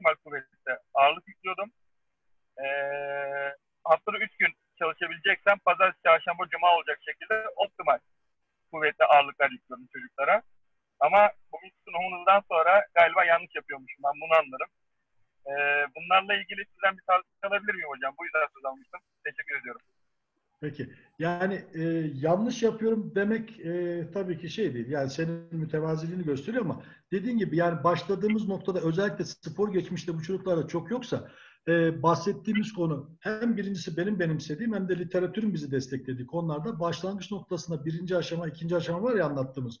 Ya bu Evet. aşamaları doğru geçmek lazım, sabırlı olmak lazım. E, özellikle o yaş grubunda maksimal kuvvet çalışmalarının hele sporculuk geçmişleri yoksa birazcık dikkat etmek gerektiğini düşünüyorum. Çok zorlamamak gerektiğini düşünüyorum. Hiç acele etme gerek yok. E, temel tekniklerle başlayabilsin. Özellikle basitten makina yuva- yoksa kendi vücut ağırlıklarıyla birlikte. E, söylediğim şey şu, Murat Hoca da her zaman söylüyor. Biz birkaç derste de ya hep şimdi Murat ekranda karşımda için ama tabii bunun içinde Yavuz Hoca'dan işte altı değerli Hikmet Hocalar, bütün arkadaşlar böyle özellikle bu fizyoloji ve antrenman ağırlıklı ders anlatan arkadaşlara baktığımız zaman e, söylediğim şeylerden bir tanesi bu. Yani basamaklamalı bir şekilde gelişimi e, beklememizde fayda var. Sakatlıklara sebebiyet vermememiz lazım. Yani bu konuda önemli. E, anlattığımız konular içerisinde sayısız ve sınırsız bir şekilde artık dünyada e, şu anda bile biz uzaktan eğitim yapıyoruz. Bu sistemde istediğim programı kendi ön şartlarına uygun şekilde uygulayabilme durumu var. Ben her zaman şunu söylüyorum. Temel prensipler çok önemli. Spor biliminin verdiği hangi çalışma, ne zaman, hangi sistemde yapılmasıyla ilgili bunları biliyorsak yani bunun adı kuvvet çalışması olur, ağırlıklarla, bununla da atıyorum vücut ağırlıklarıyla olabilir, serbest ağırlıklarla olabilir ama neyle yapıyorsanız, elinizdeki imkanlar neyse doğru sistemde doğru tercihler yapmakta fayda var diye düşünüyorum. Çok teşekkür ederim Ben teşekkür ederim. Ee, Erol Sezer Hocam, buyurun söz sizde. E, hocam iyi akşamlar. Öncelikle sunumunuz için çok teşekkür ederiz. Çok verimli bir sunum oldu. E, benim merak ettiğim konu şuydu. E, özellikle altyapılarda 16 yaş grubuna geldiğimizde ligde de e, forma şansı alan sporcular oluyorlar. Bunlara e, antrenman sırasında ya da öncesinde sonrasında ek bir takviye konusunda ağırlıklarda siz ne düşünüyorsunuz? Ben bunu çok merak ediyorum. Teşekkür ederim. Yani e, kısaca şöyle söyleyeyim, beslenmenin dışında e, olabilecek protein, amino, BCA gibi takviyelerin üst yapıya geçtikten sonra mı yoksa altyapının son dönemlerinde verilmesini mi uygun görüyorsunuz ya da kullanılmalı mı? Çok teşekkür ederim. Şimdi şöyle bir şey söyleyeyim. Ee, bu konuyla ilgili açıkçası yani benim bilgi alanımın, kendime ait bilgilerimle birlikte tabii ki biraz daha uzmanlarının cevap vermesine fayda var derim. Bir, birincisi yanlış bir şey söylemek istemem. Ama küçük bir şey anlatayım. Ee, bundan özellikle beslenme uzmanlarından falan tabii ki destek alınabilir imkan varsa e, bu daha sizin için sağlıklı olur.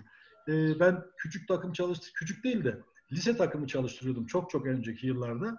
E, bir çocuğun şikayetini şöyle biliyorum. Hocam artık ben bıktım her sabah pekmez içmekten. Annem bana pekmez içiyor gönder yanıyorum hocam çok kötü oluyor dedi. O yüzden bunu doğru e, yapmak lazım. Ben şunu takviye verelim, bunu takviye verelim. Bunların gramları var, ölçüleri var, bilimsel gerçekleri var ama ben açıkçası çok bilgiye sahip değilim bu konuda. Şimdi enerji drinkler var biliyorsun sporcular kenarda. Bir dönem e, bilmiyorum işte biz Murat Hoca ile aynı dönemde oynadık. Bize çok denk gelmedi ama bizden biraz sonraki dönemde muz işi çıktı. E, kalsiyumdu, fosfattı bilmem ne derken bir idarecinin tabi devre arasında herkes muz yemeye başladı falan böyle. Hatta oyuncular değişirken kenarda muz yiyenleri biliyorum ben. Bir idarecinin bunlar nasıl adam ya maymuna döndüler sürekli muz alıyoruz çok para gidiyor dediğini de biliyorum. Bir dönem çok sevgili Rüştü Şahin hocamız bu konuda e, bir çalışma başlattı amir takımda. Fakat ama biz 30 yaşları geçmiştik o zaman. E, karnitin tozları geldi. Bilmiyorum Murat Hoca hatırlayacaktır belki bu konuyu. E, muhakkak bir arkadaşında test çalışması ile ilgili bizler de denek olduk zorunlu olarak. Bu karnitinlerin mesela yemekte e, kilogram başına belli bir oranı vardır bunun. Yani kişinin kilogram başına göre e, ona bir belli bir gramda vermek lazımdır. Biz bunları yemedik yemeğimize de katmadık. E, kaleci Nevzat Hocaoğlu makarnasının üstüne koyuyordu. Parmesan tozu gibi. Çok da seviyordu. Çok lezzetli diyordu. Bizim takımın tamamının karnetin tozunu Nevzat bir makarnayla yedi. Yani ben şimdi tabii işin latifesindeyim ama e, daha bilimsel cevap vermeyi isterdim sana ama çok bilgim yok bu konuda. Peki teşekkür ederim hocam. Sağ Kusura olun. Ben bakma çok, olur mu? ben çok küçük bir şey Yani. söyleyebilir miyim hocam? Ee, gene senin söylediğin gibi bu bizim uzmanlık alanımız değil ama hani yapılan araştırmalar sonucunda şunu söyleyebilirim. Ee, öncelikle kendimden örnek vereyim. Asla hiçbir e, sporcuma ben dışarıdan takviye vermedim. Asla. Ne toz protein ne, ne toz kar- karbonhidrat. Sadece çok yoğun antrenman dönemlerinde o da mesela ağırlık programınız 25-30 tona çıktığı zaman yük olarak çıktığı zaman vitamin takviyesi o da multivitamin olacak şekilde. Çünkü hiçbir araştırma alınan bu toz proteinin ya da toz karbonhidratın sporcunun kas kütlesini artırdığı yönünde hiçbir çalışma yok. Tamamen dışarıdan alınan kimyasallar doğal organik ürünü ortaya koyamıyor. Ee, bence en doğrusu öğün artırmak olabilir. Serdar hocamın dediği gibi pekmez olmaz belki ama öğün artırmak olabilir. Evet, evet. Ama asla bence e, doğru yaklaşım değildir. Çok ufak bir şey söyleyeceğim. Fitness salonlarındaki advisor'lara ne derler biliyor musunuz? Lütfen zengin müşterilerle çalışın. Çünkü o toz, toz proteinleri, toz karbonhidrat- karbonhidratları ancak onlara satabiliyorlar. Yani bu tamamen ticari bir olay. E, benim naçizane görüşüm asla bu olaylara girmez. Hocam ben de bir katkı sunayım buna. Ee, yani aktif olarak antrenörlük yapan birisi olarak e, sporcuların tabii bu uzun hikaye, ergojenik yardımcı işine girer. Ya Murat Hocam dediği gibi ister istemez eğitimimizin bir tarafında bu ergojenik yardımcılarla ilgili ödevler bile hazırladık. Ee, hazırlıklarımız oldu. Vitaminler, beta işte bilmem ne. Aklınıza ne geliyorsa değerli arkadaşlar. Birincisi görüntü olarak ben Murat Hoca ile tamamen paralelim. Ee, bunların ne kadar faydalı olup olmadığını bilemem. Bizler maksimal e, değerlerle spor yapan branşlardan değiliz. Optimal değerler bizim için daha önemli. Yani 100 metreyi 10 saniyede koşmaktansa 20 metreyi 10 kere aynı derecede en iyi üst düzeyde koşmak. Örnek. Bizim işlerimiz bunlar. Ve doğru teknikler ve branşa yönelik kuvvet, dayanıklılık, motorik özelliklerin gelişmesini bekliyoruz. Mesela bazı sporcular bu işe çok e, kafayı takıyorlar. Birazcık da plasebo etkisi var diye düşünüyorum. Hoşuma da gidiyor. Ya çocukların o sahaya çıkışları bizim eskiden elimize bir eşofman üstüne çıkardık. Şimdi onlar böyle çantayla çıkıyorlar. Ya ellerine silindirler, lastikler, bir tane kutu, kutunun içine bir toz döküyor. Uzaktan bile mesela ben spor yapan bir adam olmasam ya bunlar ne yapıyorlar? Doping mi kullanıyorlar? Sürekli tozu döküp içiyorlar falan diye. Birazcık sporcuların kendi çabalarını da bırakıyoruz ama Murat Hoca gibi ben de katılıyorum. Protein tozları, şunları, bunları, bilmem neleri. İşte ben çok görmedim, önermem.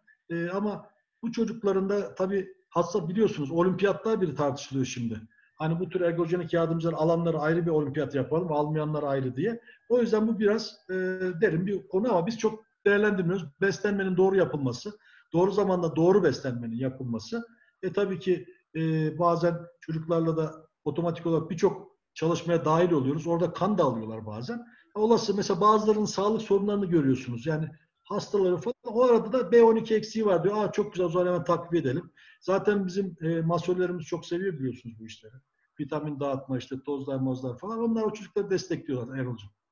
Peki çok teşekkür ederim hocam. Çok sağ olun.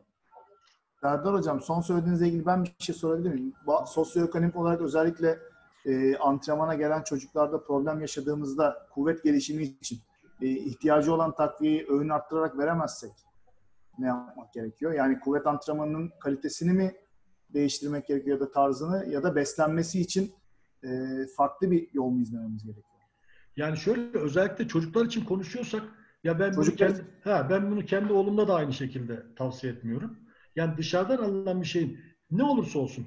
Mesela bu aralar çok kilo aldık bize öneriyorlar. Ya şu şu firmalar, şu şu firmalar şöyle. En nihayetinde bunların hepsi hepsi doğal doğal kesin doğal dediğinde sadece teşvik edebileceğiniz beslenme ile ilgili antrenörlük eğitiminizi aldığınız şeylerden bahsediyorum. Proteini nelerden sağlayabileceği veya karbonhidratı nelerden alabileceği. Bakın biz ilkokuldayken e, Mustafa Ba- şey ilkokuldayken diyorum, ortaokuldayken Murat Hoca çok iyi atacak. Mustafa Balkaç diye bir hocamız vardı. E, Murat Hocam ben Murat şey Mustafa Hoca ile de kontak kurdum Mersin'de. E, şeyde o Mersin Amerikan mı öyle bir yerlerde. lisesinde. Ko- Yo, yo, oradan döndü. Şeyde e, Mersin'de Mersin'de. Değil mi? Ha. Ha, öyle yani çok e, değerli de bir insan. Onu örnek vermek isterim. Çok affedersin Yasin'ciğim. Biz antrenmanlara başladığımız zaman çamaşırımızı nasıl değiştirmemiz gerektiğini, tişörtümüzü nasıl değiştirmemiz gerektiğini, neden değiştirmemiz gerektiğini, eşortman giydiğimiz zaman içine niye şort giymemiz gerektiğini, niye şortsuz eşortman giymememiz gerektiğini, antrenman bittikten sonra annemize gidip hangi yemeğe yapması gerektiğini. Çocuklar bugün şöyle şöyle makarna yaptırın. Üstüne de biraz beyaz peynir attırın. Yarın sabah e, antrenmandan önce muhakkak ama muhakkak. Değil mi Murat Hocam? Katılıyorsun herhalde. Hatırlaman lazım. Evet. Yani illa ki şu tozlu, şu hiç biz duymadık. Rüştü Şahin'den de duymadık. Yaşar Hoca'dan da duymadım. Ben duymadım. Yani şunu alalım, bunları takviye yapalım. Doğal. Ha, o konuda biraz bilgin varsa, biraz da ilgiliysen çocukları bu yöne, bütün arkadaşlar için söylüyorum lütfen doğal yollar. Yani tozun doğalı değil. İşte ya merak etmeyin çok natural bir hap. Hap, hap abicim hap yani ıspanağın hapı diye bir şey olabilir mi yani? Ispanağı yersin, ıspanağı yemiş olursun. Ama hap o. Yani dolayısıyla çocuklarımızı doğal beslenmiyorlar ama bahsettiğim gibi protein ne zaman işe yarar? Karbonhidrat ne zaman şey yapar? Bugün yaptığımız çalışmanın şey, konular geliyor. Hepimiz takip ediyoruz. Çok değerli hocalar anlatıyor. Enerji oluşumları, hangi enerjilere, enerjiye ihtiyacımız olduğu, hangi çalışmada enerji kaynaklarının açığa çıktığını biz bilirsek sporcularımızı bu şekilde yönlendirebiliriz. Şeker alımı ne zaman yararlı, ne zaman zararlı, hangisi şekerin zararlı? Veya müsabakalardan önce yenen çikolatanın kan şekerini aniden yükseltip bir anda düşüreceğini bildiğimiz zaman sporculara belki pekmez içirmeyeceğiz yani. O yüzden biz eğiticiler olarak doğru beslenmeyi ilgili derslerde veya ilgili alanlarda öğrenebilirsek bu tür yönlendirmeler yapmanın çok daha sağlıklı olacağını düşünüyorum. Teşekkür ederim hocam. Murat hocam e, başka el kaldıran da yok listemizde. E, süreyi de gayet iyi kullandık Serdar Hocam. Teşekkür ederiz. Biz E, teşekkür ederiz. ben hepinizin nezdinde Serdar Hocama çok teşekkür ediyorum. e, değerli katkıları için. E, bundan sonra da yine birçok şeyde e, katkı sunacaktır bizlere. E, ben önümüzdeki günlerde yeni oturumlarda buluşmak üzere herkese sağlıklar diliyorum. Serdar Hocam son sözü size bırakıyorum. Siz kapatın.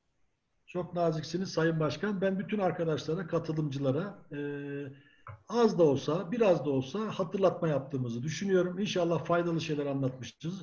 Özellikle sizi ve kurulunuzu tekrar tebrik ediyorum. Bundan sonraki çalışmalara da her zaman seve seve katılacağımı söylüyorum. Değerli arkadaşlarımızın da sahada olmaları gerektiğini düşünüyorum. Bütün bu bilgileri sahaya in- indiremediğimiz anda istediğimiz kadar cebimizde tomar tomar bilgi olsun hiçbir şey ifade etmez. Altyapı dediğim gibi handbolün efendisidir. Altyapıda çalıştığımız sürece hepimiz şenleneceğiz. Başarılar gelecek. Tekrar teşekkür ediyorum. Herkese sağlıklı günler diliyorum efendim. Sağlıkla kalın. İyi akşamlar.